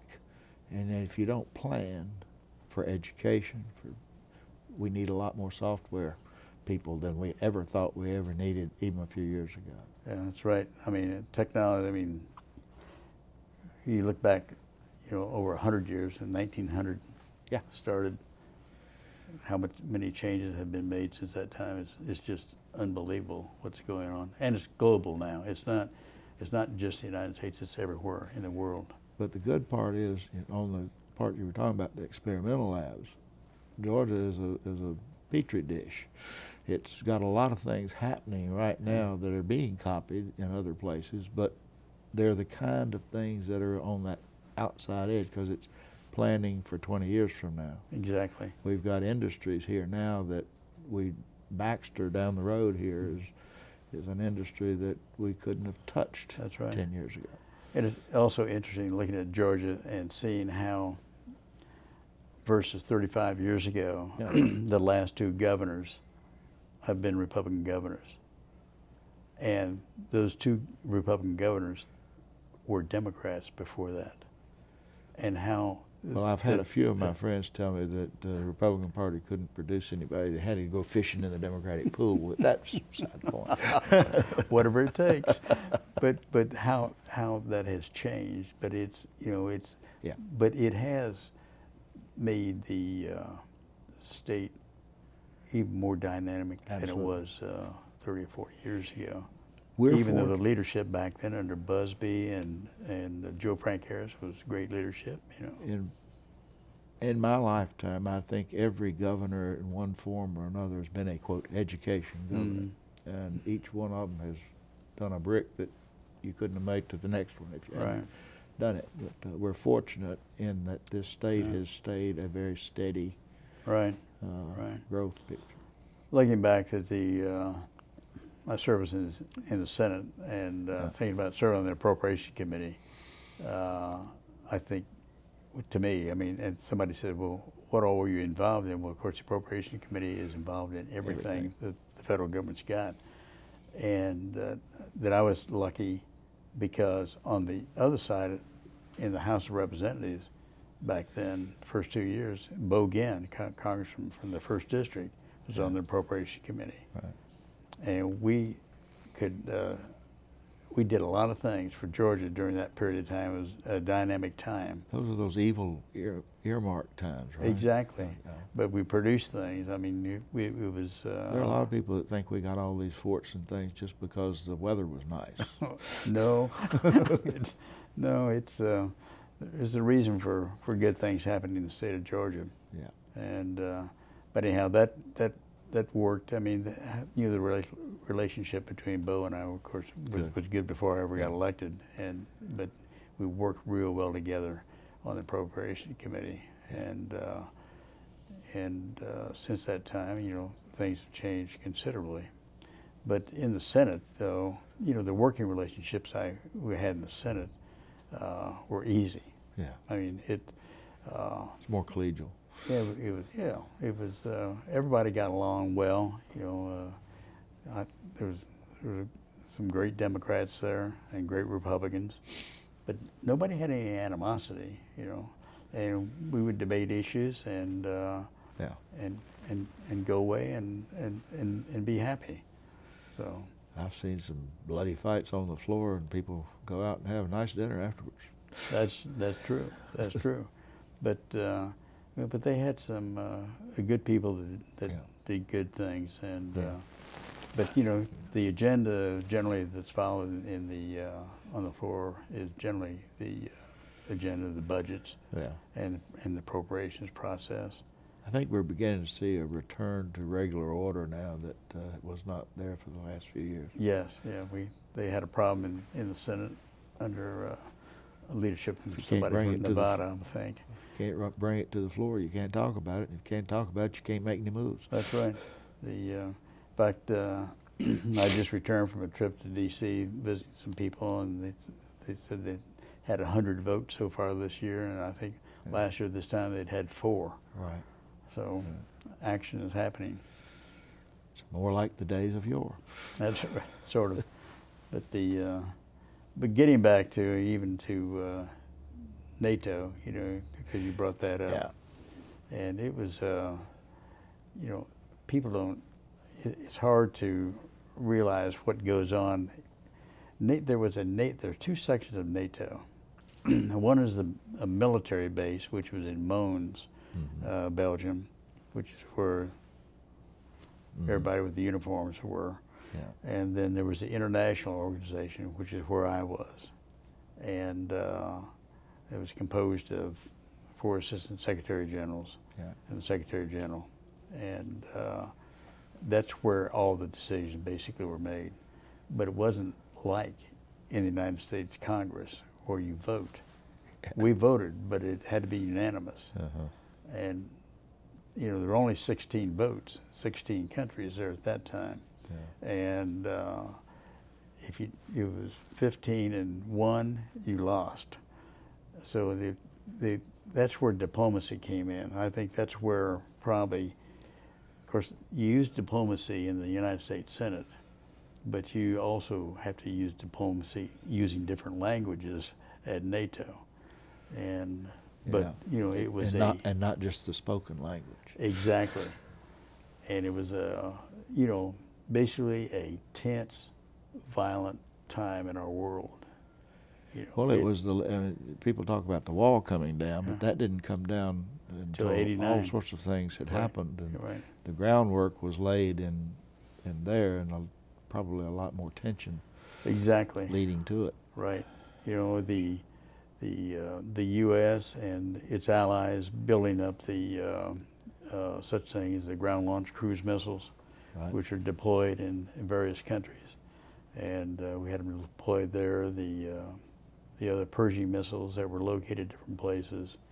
We had them, you know, protecting down in between Turkey and Greece at the Bosphorus Strait, protect uh, from stopping any Soviet submarines to be coming down through through that section there.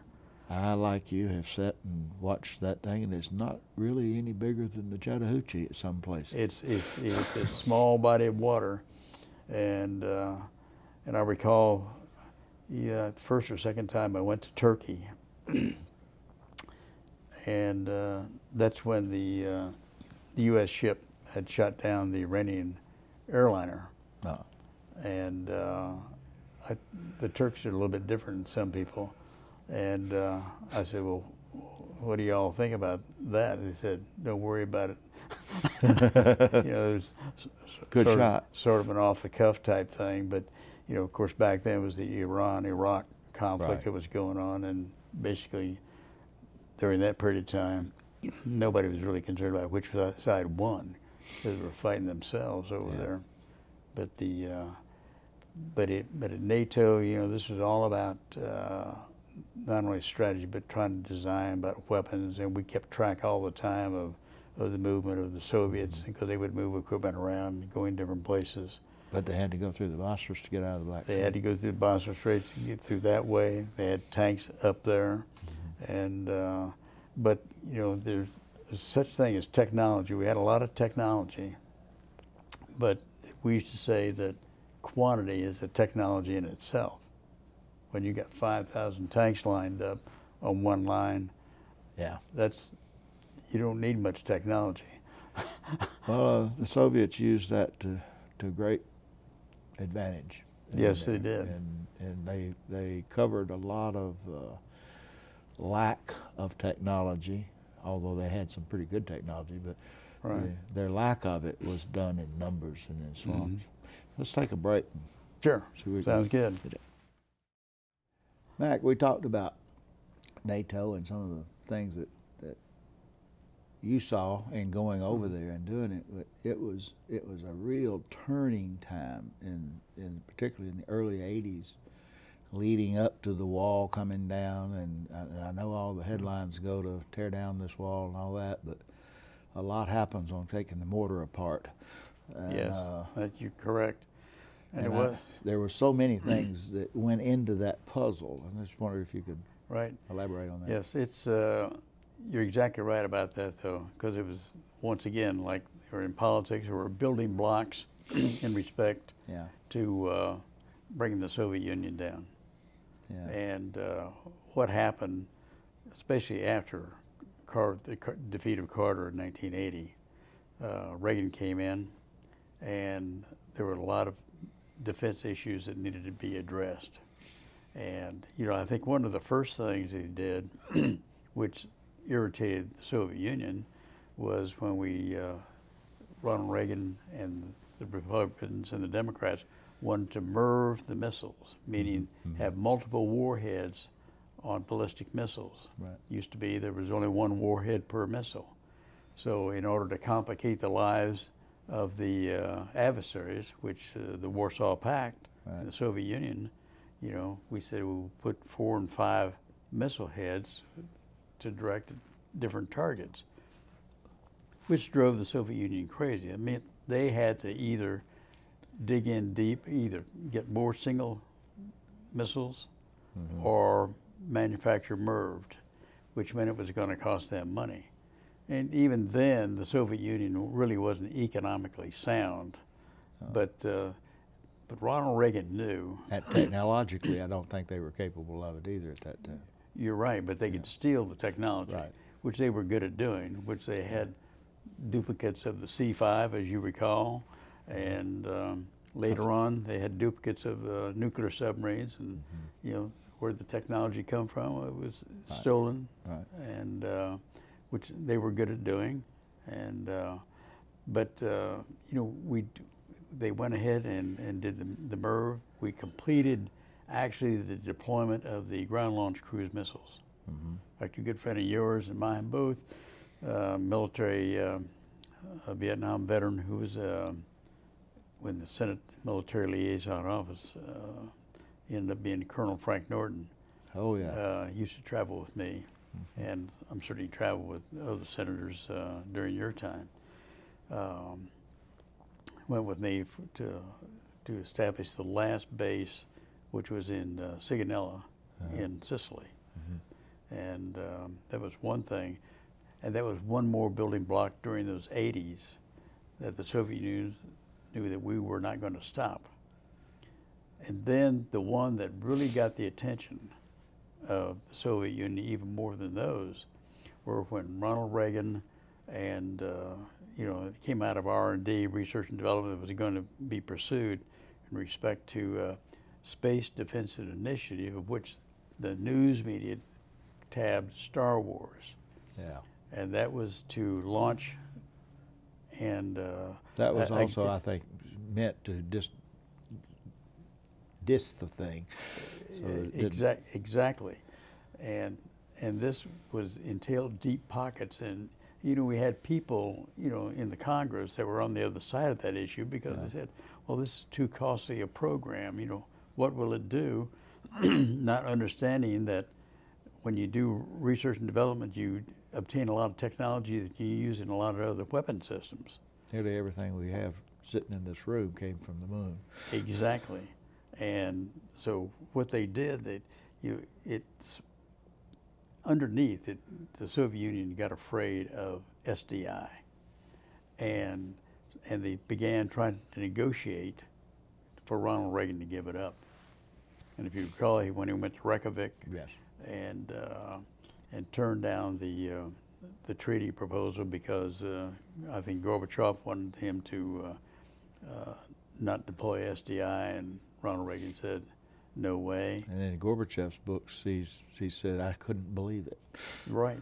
Couldn't believe it. That's that right. he would walk out. Did. And I remember when Reagan came back, and then there were people in the United States Senate that said he made a mistake, that he should have agreed to the, the treaty with Gorbachev and stopped the, you know, and of course they had help from the news Yeah, media right.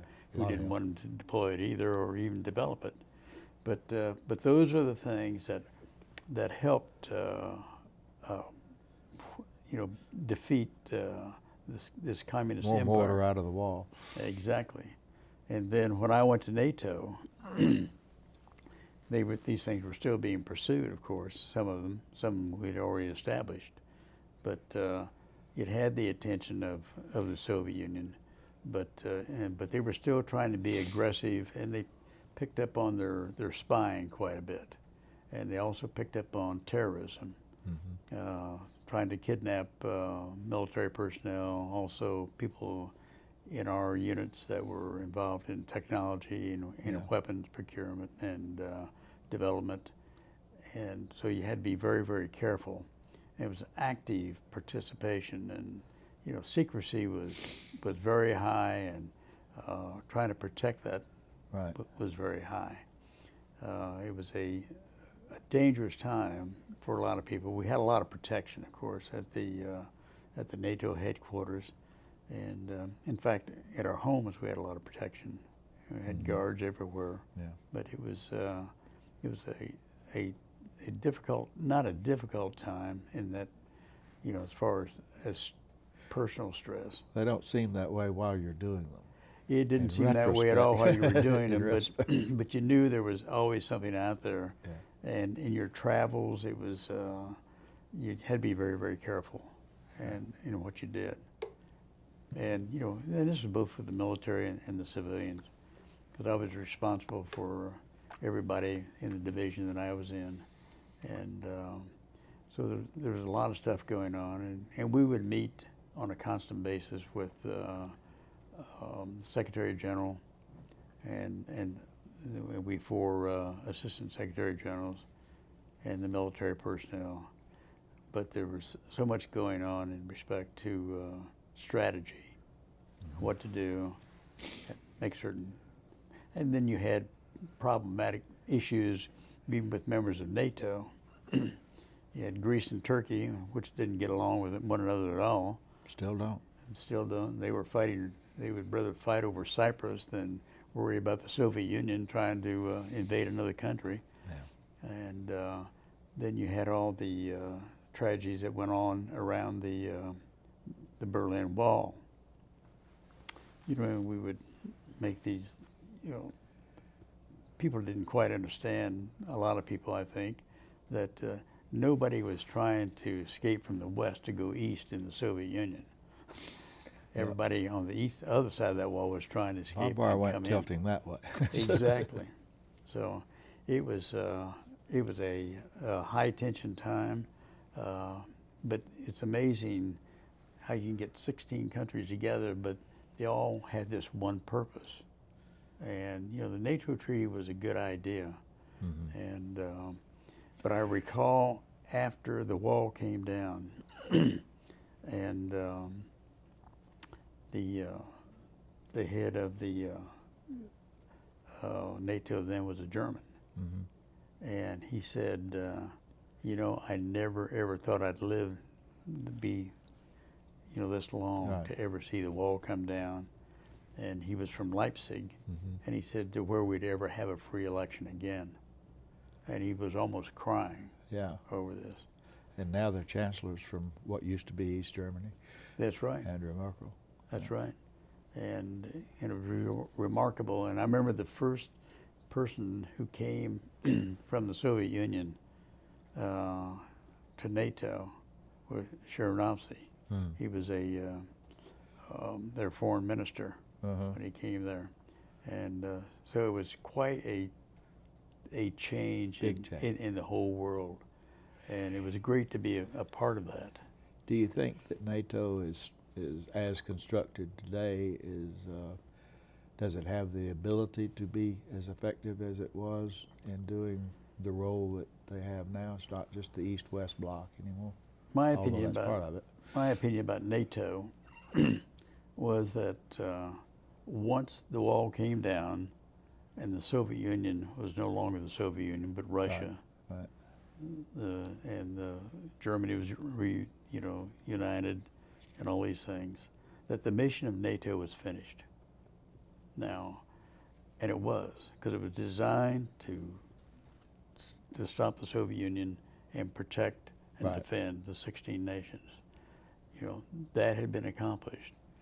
And I felt like That was the original charter in the that was the original 40s. charter in 1949. Yeah. and my feeling was that if you want to create a new NATO, then you needed a new treaty with a different purpose because it had changed. Different tripwires. Exactly.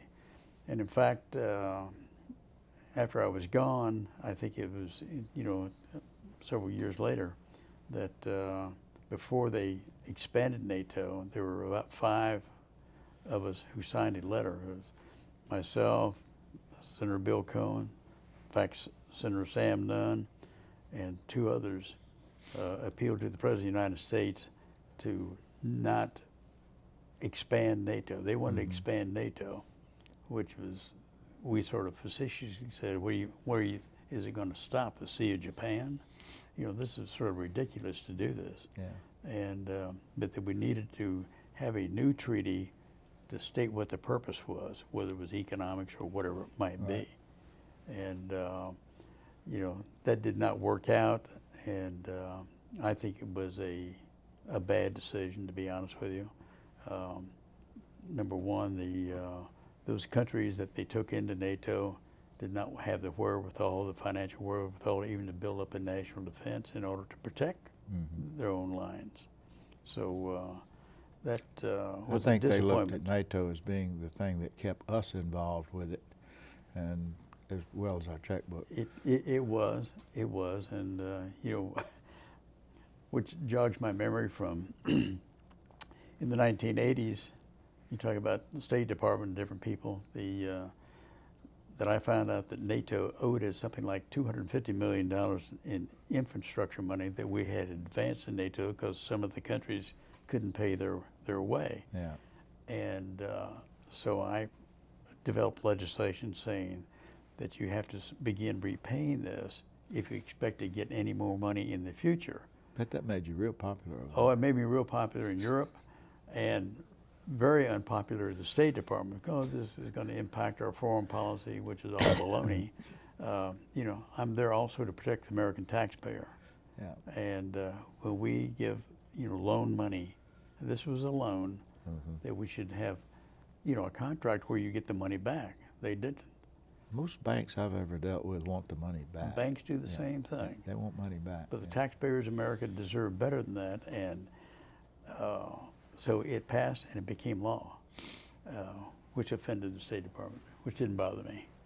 But the, uh, in fact, when I went to, when I, before I went to NATO, I was being briefed by the Defense Department and the State Department, and the State Department was sort of, you know, looking at me with a jaundiced eye about uh, Yeah. how can you go over there now and be Assistant Secretary General?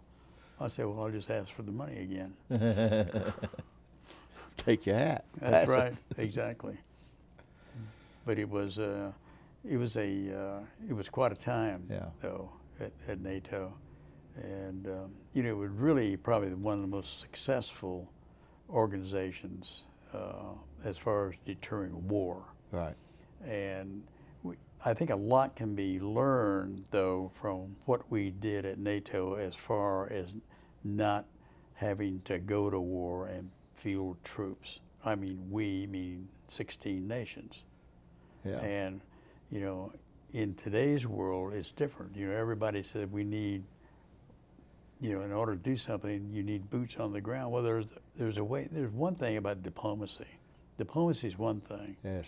But also having a strong national defense is as good as diplomacy. That doesn't mean you have to use your weapons, but it discourages the other side from being active. And if you draw a red line, they know that you meant it because there's the line. Exactly. And in And- that case, it was at the Fulda Gap. You you betcha. But the but but the red line, you know, the way you get the attention, eh, you have more power than the other guy, Yeah. and You don't necessarily have to use it. you Just don't have, have to use it. Have it. But they had, you know, the it was composed. Uh, NATO was strong, had composed of a lot of strong allies. I mean, Right. I mean, West Germany was strong with us. Right. Uh, the United Kingdom, Right. you know, Denmark. I mean, they had some. There were some great people all Sure. around. Good, good folks in it. good folks It in is, it. it does seem to have moved out into different areas. It has, it has. The, um, and I guess the, the most strangest place I, I visited though was when I went to Norway. I went to Oslo, and then I was to make a speech in Narvik. I don't know whether you know where Narvik is, but it's above the Arctic Circle. It's The uh, Brits and the French tried to put a, put a force in there in 1939, 40, exactly, and the Germans used to come across from the other Right. countries, and they're chased them out. chased them out. And uh, but it's rough territory and uh, Yeah. beautiful lands Yeah. and great people. They're they're not uh, pro-nuclear. Uh, they were anti-nukes. The uh, but it, but it worked. It worked out well. Yeah. And as we talked earlier about the French not being in the military structure of, so to speak, of the of NATO, but they did. People criticized France a lot, but the French had one thing, which it I think worked real well. You know, they weren't in the, the defense structure of NATO, but the Soviet Union knew that the French had nuclear weapons. Mhm. Therefore, you know, the U.S. had nuclear weapons. The Brits the, had The 'em. Brits had them, and uh, and they, we could negotiate as NATO except for France. So uh, France was out there as a wild card, Gave them a lot of leverage. gave them a lot of leverage, and scared the bejesus out of the Soviet Union, which I thought was a, a good deal. If you were playing poker, I don't think I, I don't I think Ronald Reagan was the greatest poker player that ever happened. Amen. Uh, but I think that he got the tell on the Soviets, and they they they never got over him leaving Iceland. And I think you're exactly right about that. I think they thought that if he, he would do that, Mhm. they didn't know they couldn't predict him. You're right. He was. You're right. He was a good poker player, and he always did it with a smile. Yeah. Speaking of President Reagan, in the, uh, I guess in uh, '88 was his last year. It was the last time that he, he came to NATO and for a uh, uh, leaders meeting, Yeah. and uh, and I was of course sitting at the table. You know, we had the uh, they had the 16 leaders sitting at the table, Maggie Thatcher, him, and everybody else. And uh, he walked, and I sat right behind the Secretary General. And President Reagan walked in the room. He didn't walk to one leader. He walked directly over to where I was and walked up and was shaking my hand, and we were talking. And you had the 15 other leaders, all in aghast over why is he talking to this person that we don't know over there? But Ronald Reagan was that kind of person Yeah. that he said he came over and said, "Mack, how you doing? Well, you're doing a great job." But and all they this." didn't know that was They, what you were talking they, they didn't know that, but it was a, and I still have a, I don't know who took the picture, but somebody took a picture of, of when we were together at that Yeah. time. But uh, he just it was an unbelievable person that uh, Yeah. knew how to play poker well. Well, he's one. Uh, he's one of a kind. I don't think we're going to see another one like anytime soon. He was. He, he really was. And he was one of the kindest people in, in politics I ever met. Well, you saw how the Senate changed in the, in the years that you were there, and it certainly was had changed when I was there, uh, working for Senator Talmadge. But it uh, it's changed a lot since then. What do you? Mhm. What? How do you compare the times, and uh, and where do you think the Senate's gone to? Well, I'd have to say, looking at when I was there, and I could go through the list of the, the people, but I, you know, I recall the Bill Proxmires, who were great, and he Right. had the Golden Fleece Award. And he was Yeah. he was a Democrat, a great guy. We had Harry Byrd, who was an independent from Virginia, who was a fantastic person, a great conservative. He's the kind of independent you like, That's right, and uh, and he had good apples. that's right, he sure did.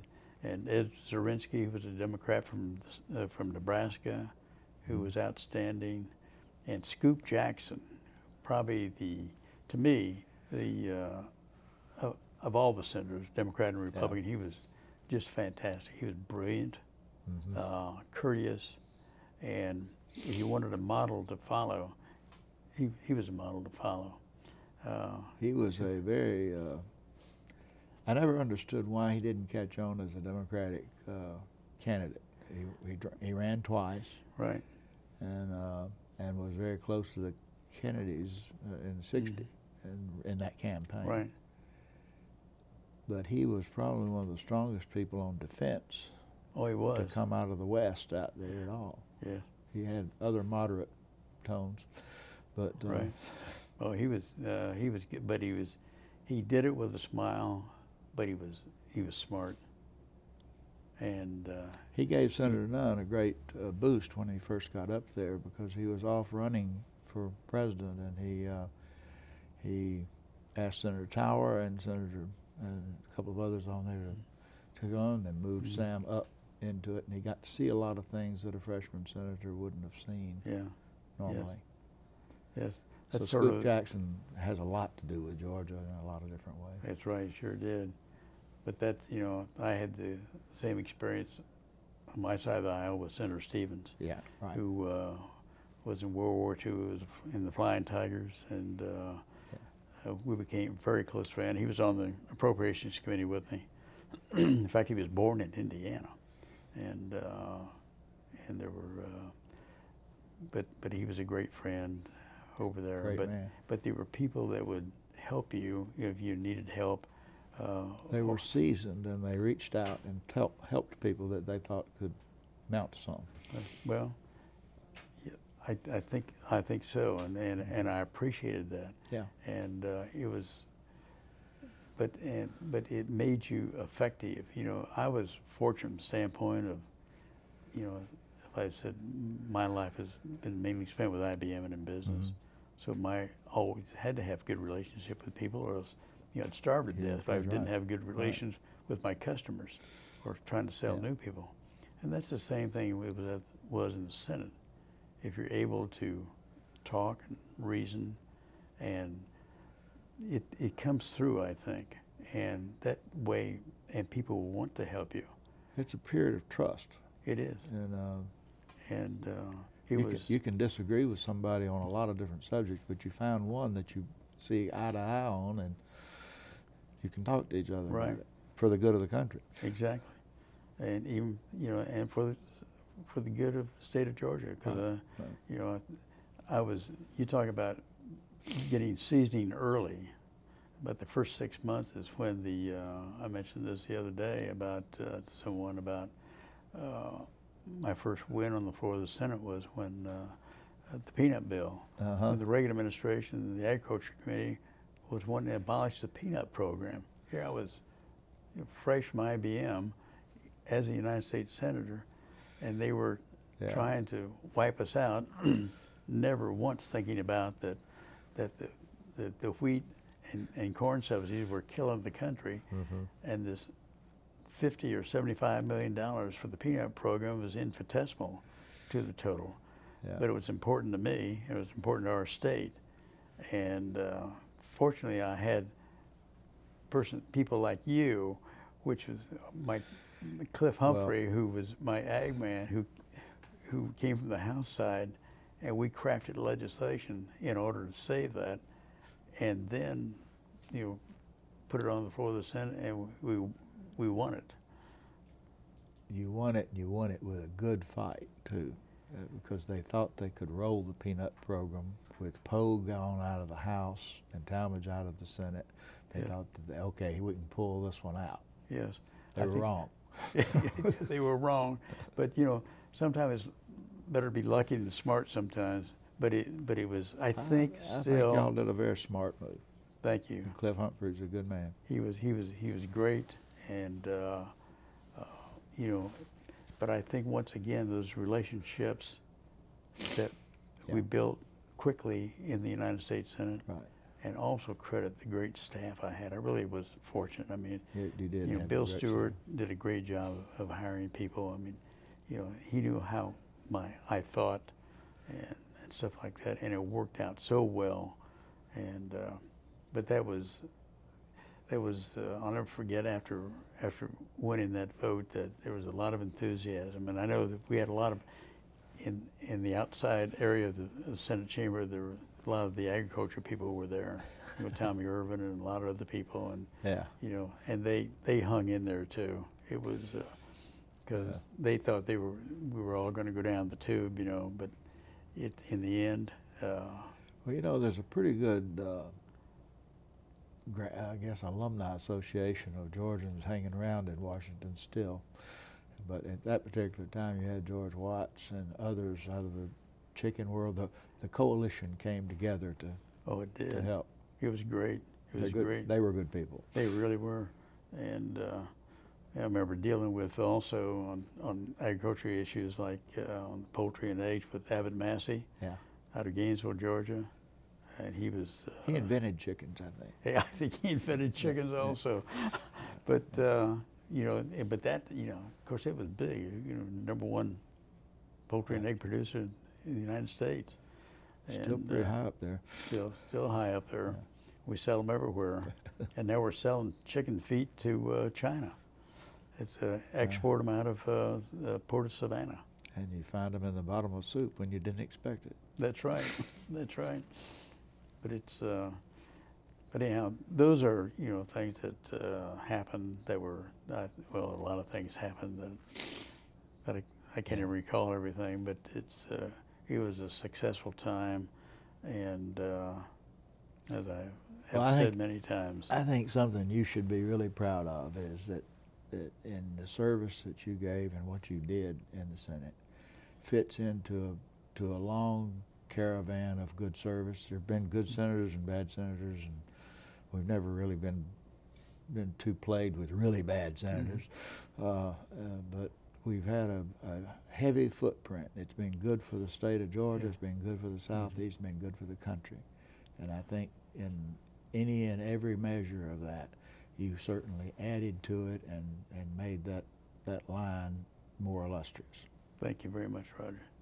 Appreciate that. I appreciate it. You and I are good buddies. Thank you. The, um, you know, the uh, one other scenario that will last a while in my life was um, becoming a U.S. ambassador, which was sort of interesting time because uh, once again, Bush, when he was president, Right. asked me if I wanted to become ambassador. And I said, oh, fine, you know, and, and anyhow, he nominated me to go to the Seychelles. And I, at first I said, where's that? Looked it up on a map, finally found it, Yeah. but it's out in the Indian Ocean. It was a uh, U.S., you know, defense area that we used. Uh, and, but the scenario, you talk about relationships, that was in 1992. Uh-huh. I've been out of the Senate for six years. Right. And um, so he nominated me, sent it over to the Senate. And Claiborne Pell, I mean, the Senate was controlled by Democrats. Uh-huh. And uh, so I got a call from Dole, who was then minority leader, and said, uh, You need to come up. He says, They're going to take up your nomination on this day uh, in the uh, Yeah. Foreign Relations Committee, subcommittee. So I flew to Washington, D.C. And I've never seen this happen before. I'm certain it probably has, but I didn't know about it. But uh, in the morning, I went before the subcommittee, the Foreign Relations Committee, with Paul Simon, Mm. and uh, went through the hearing. And after that was over, you know, it took about an hour or so. Um, saw Dole, and I said, "Well, what now?" He says, "They're going to take it up in the full committee. Claiborne Pell's going to take it up in the full committee." So he did that, and of course, Bob Byrd was. Uh, I think Byrd, I forget who was then majority leader. Probably Byrd. But uh, anyhow, so Pell took it up in the committee and approved Yeah. it. And then they had to get it on the calendar, Senate calendar. And they took it over the Senate floor, put it on the calendar, and about mid-afternoon, they called it up for a vote. and and it, you know, and it passed. You know, and this is one day Yeah. they sent the nomination over, went through two full committees, and got approved on the floor of the United States Senate, which is probably one of the speediest transactions ever made. I don't know whether that means that they liked you and you Or were wanted to really get rid of me. popular, or they just didn't want to argue with you about it. Well, a few years later, about four years later, I saw Bob Dole when he was running for president Yeah. against Clinton, and some reporter asked him, he says, uh, "Are you going to nominate Mattingly for ambassadorship again?" He says, "Well, we can find a country that'll take him." but the uh, but it was a, uh, an exciting time. Uh, Yeah. from the standpoint of, of, the, of the speed of that, and it was under a Democrat-controlled Senate. And it goes to show you that, though, about the relationships that you can make, Right. and that uh, how That the, how the feeling at, at do last. Yeah. And uh, to me, that was as significant as becoming a, a U.S. ambassador. I think you and I could probably name off a dozen or so people serving today that couldn't get cleared by the Senate. I think you're probably exactly right. Which brings up current day Senate, as you were saying. I mean, the era that I went through uh, has, has been was great. You know, as an Yeah. active senator, uh, but today it has changed considerably. Uh, I think a lot of that, though, stems. Mm, I think it, it may not have been totally the fault of the Senate. I think it comes from the leadership from the White House, to be honest with you. I think the White House establishes the tenor for the country. Yeah. I think it establishes the tenor for the House of Representatives and the United States Senate to make certain that you offer leadership and you smile and you're kind. It doesn't make any difference who is ranking, Yeah. who's in control of, of majority, but that you deal with people even-handedly. And some of that has slipped away, and I think it costs us in even across the country about feelings, and those are not good feelings. And you know those things need to be reestablished. And that didn't happen frequently in the United States. Most people get along with uh, with presidents and things. I think there's a direct correlation between how well a president gets along with the Congress, particularly with the Senate, and and how well they organize their staff to communicate. Uh, and just in my memory, anyway, the, the presidents who got along best on the Hill, not because they were pandering to something somebody wanted or they threatened somebody or did whatever, not that, but they had good communications.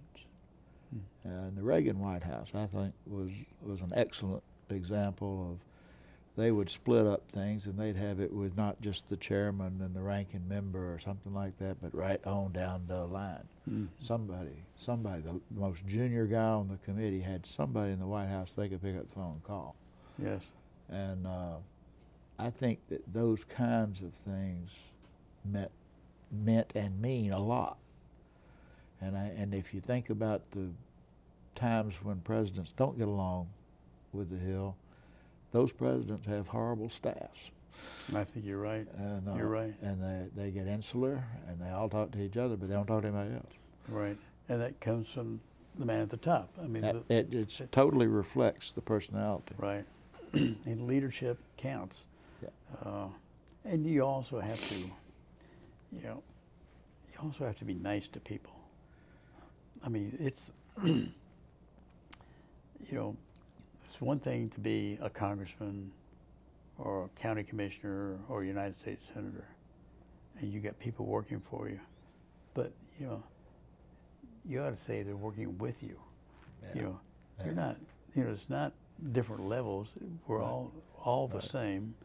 Um, us guys put on our trousers one leg at a time, um, and you know they're actually all the same, and they need to work together. It's a matter of that. Uh, it's a combination of that old line politics we talked about with people looking at each other and putting up signs on trees and uh, walking through courthouses, etc., and the ability to communicate on another level because Right. you have to do it now through these things and other. Right. But uh, it's still a matter of communications. and- Yes. And people. And if you're aloof, above, or narcissistic, you're probably not going to communicate very well. That's right. exactly. and the world's a small enough place, and you don't want to run out of friends. It's um, so Never seen anybody that. Uh, well, I have seen quite a few people that don't don't seem to really give a damn, but I don't think it's a wise investment in time. no, I don't either. I agree with you. Yeah. I don't agree with you at all. That's wonderful. But anyhow, the uh, the the time that uh, that I know you spent in Washington D.C. and the time I spent there have been rewarding. I think for both of us. And they survived. That's so that made it work. Exactly. and there's life after all that stuff. And it's also important to know that the things that you learned while you were there, you can apply after you leave. Absolutely.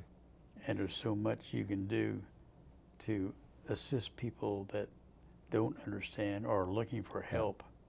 And that's, talk about rewarding, It is. that's probably as It is. rewarding as passing a bill on the floor of the Senate.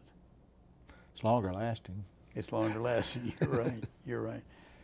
I But- think that uh, I think people underestimate that uh, the fact that no matter how smart we think we are about doing something, or how smart somebody thinks they are when they get to Washington, they're going to be a hell of a lot smarter when they come back, You're right. and they're going to get smarter as time goes by. That's right. Uh, and I, I know that you, me, and everyone I know that's ever been having anything to do with that business up there uh, would probably agree with is that don't you wish you could go back knowing what you know now? Oh, yes, that's that's true. That's true. The uh, but the uh, one of tribute I'd like to give to you though is uh, which goes way back in our lives, which nobody would probably listen to this and understand this. But many years ago, there was a mutual friend of ours who was a, a lawyer who actually ran in 1964 as a Republican for county commission in Glynn County, and later then tried to run for state representative as a Republican, got beat, but he was a trial lawyer named Tony Alaimo, Oh yeah, and uh, the judge, he was the judge. the judge. And uh, after Nixon got uh, nominated, uh, Tony wanted to become a federal judge, and I had a difficult time getting him, Bo Callaway, and some of these others to uh, go along, but they finally did because uh, Tony and I were at, the Yeah. Republican convention for Goldwater originally, so we were all Yeah. hard rock conservatives. But I recall that uh, how you and uh, Harry Dent out of South Carolina, Powell Moore, if you remember all, all these, and and uh, your senator and everybody helped because we had no Republican senator in Georgia. Helped him get confirmed. Yeah, Uh, and, and he, it was a good appointment. it was a great appointment, and uh, he ended up being a, quite a judge. Well, I remember uh, another instance of a judge appointment that uh, you may have forgotten, but it was when you were chairing the party, and, uh, and I forgot who it was. Griffin Bell. No, it wasn't Griffin Bell. Griffin Bell had resigned. No, but it wasn't Okay, Griffin Bell. okay. I mean, that, it was somebody that Okay. we know, but not not Griffin Bell. uh, uh, we had, uh, I think it was right at, in '76, and it was probably about the time after the conventions, Mhm. if I, my memory is right. But uh, there was somebody that you came up and sat down in there and talked about. This was who the party had gotten together Mhm. and liked, which we thought was a great idea, Mhm. and that's who Talmadge liked too. Yeah. So, uh, but we didn't want to do it in the middle of. I I don't know whether we were between the two conventions or just after them or Mhm. whatever it was, but we were reasonably well convinced that we could manage to get the thing through the Senate uh, in between then, because Oh, we knew how to do that. Right. and um, I said something to you about, you, you said something about, this is who we want to do and we want to do it now. And the White House said they could do it now. And I said, it takes advice and consent to do it. Well, we didn't do it. We kept it back. We thought that it would be easy to do when Ford was elected and we would just Right. zip it on through. Uh, but I do recall several years later walking down the hall on the day you were on your way over to the uh, floor of the Senate to be sworn in. And uh, I was coming down the hall from the other direction, and you had a couple of people with you walking. And I kind of moved to the side to stay out of the way because you were on your way to get sworn in. I thought that was really important to do. Uh, and you said something about, "Why don't you come by after the after the ceremony up to the office?" And I said, "I'll be there." And then you turned back around and says, "And I want you to talk to me about that advice and consent thing." I'll never forget that. Showed great, Well, great. That's right.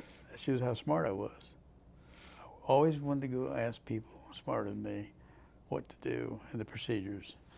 Well, you you And- nailed me. So. that's right. That's right. That's right. But it also goes to show how the relationships were from the get-go, and uh, and Yeah. how, and we've worked on a lot of stuff since then. Yeah, It's been a great, great time. it's been a good ride, and it's great to know you.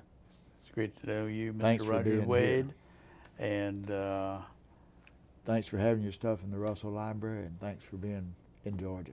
We appreciate thank it. you, thank you. Roger. Thank you.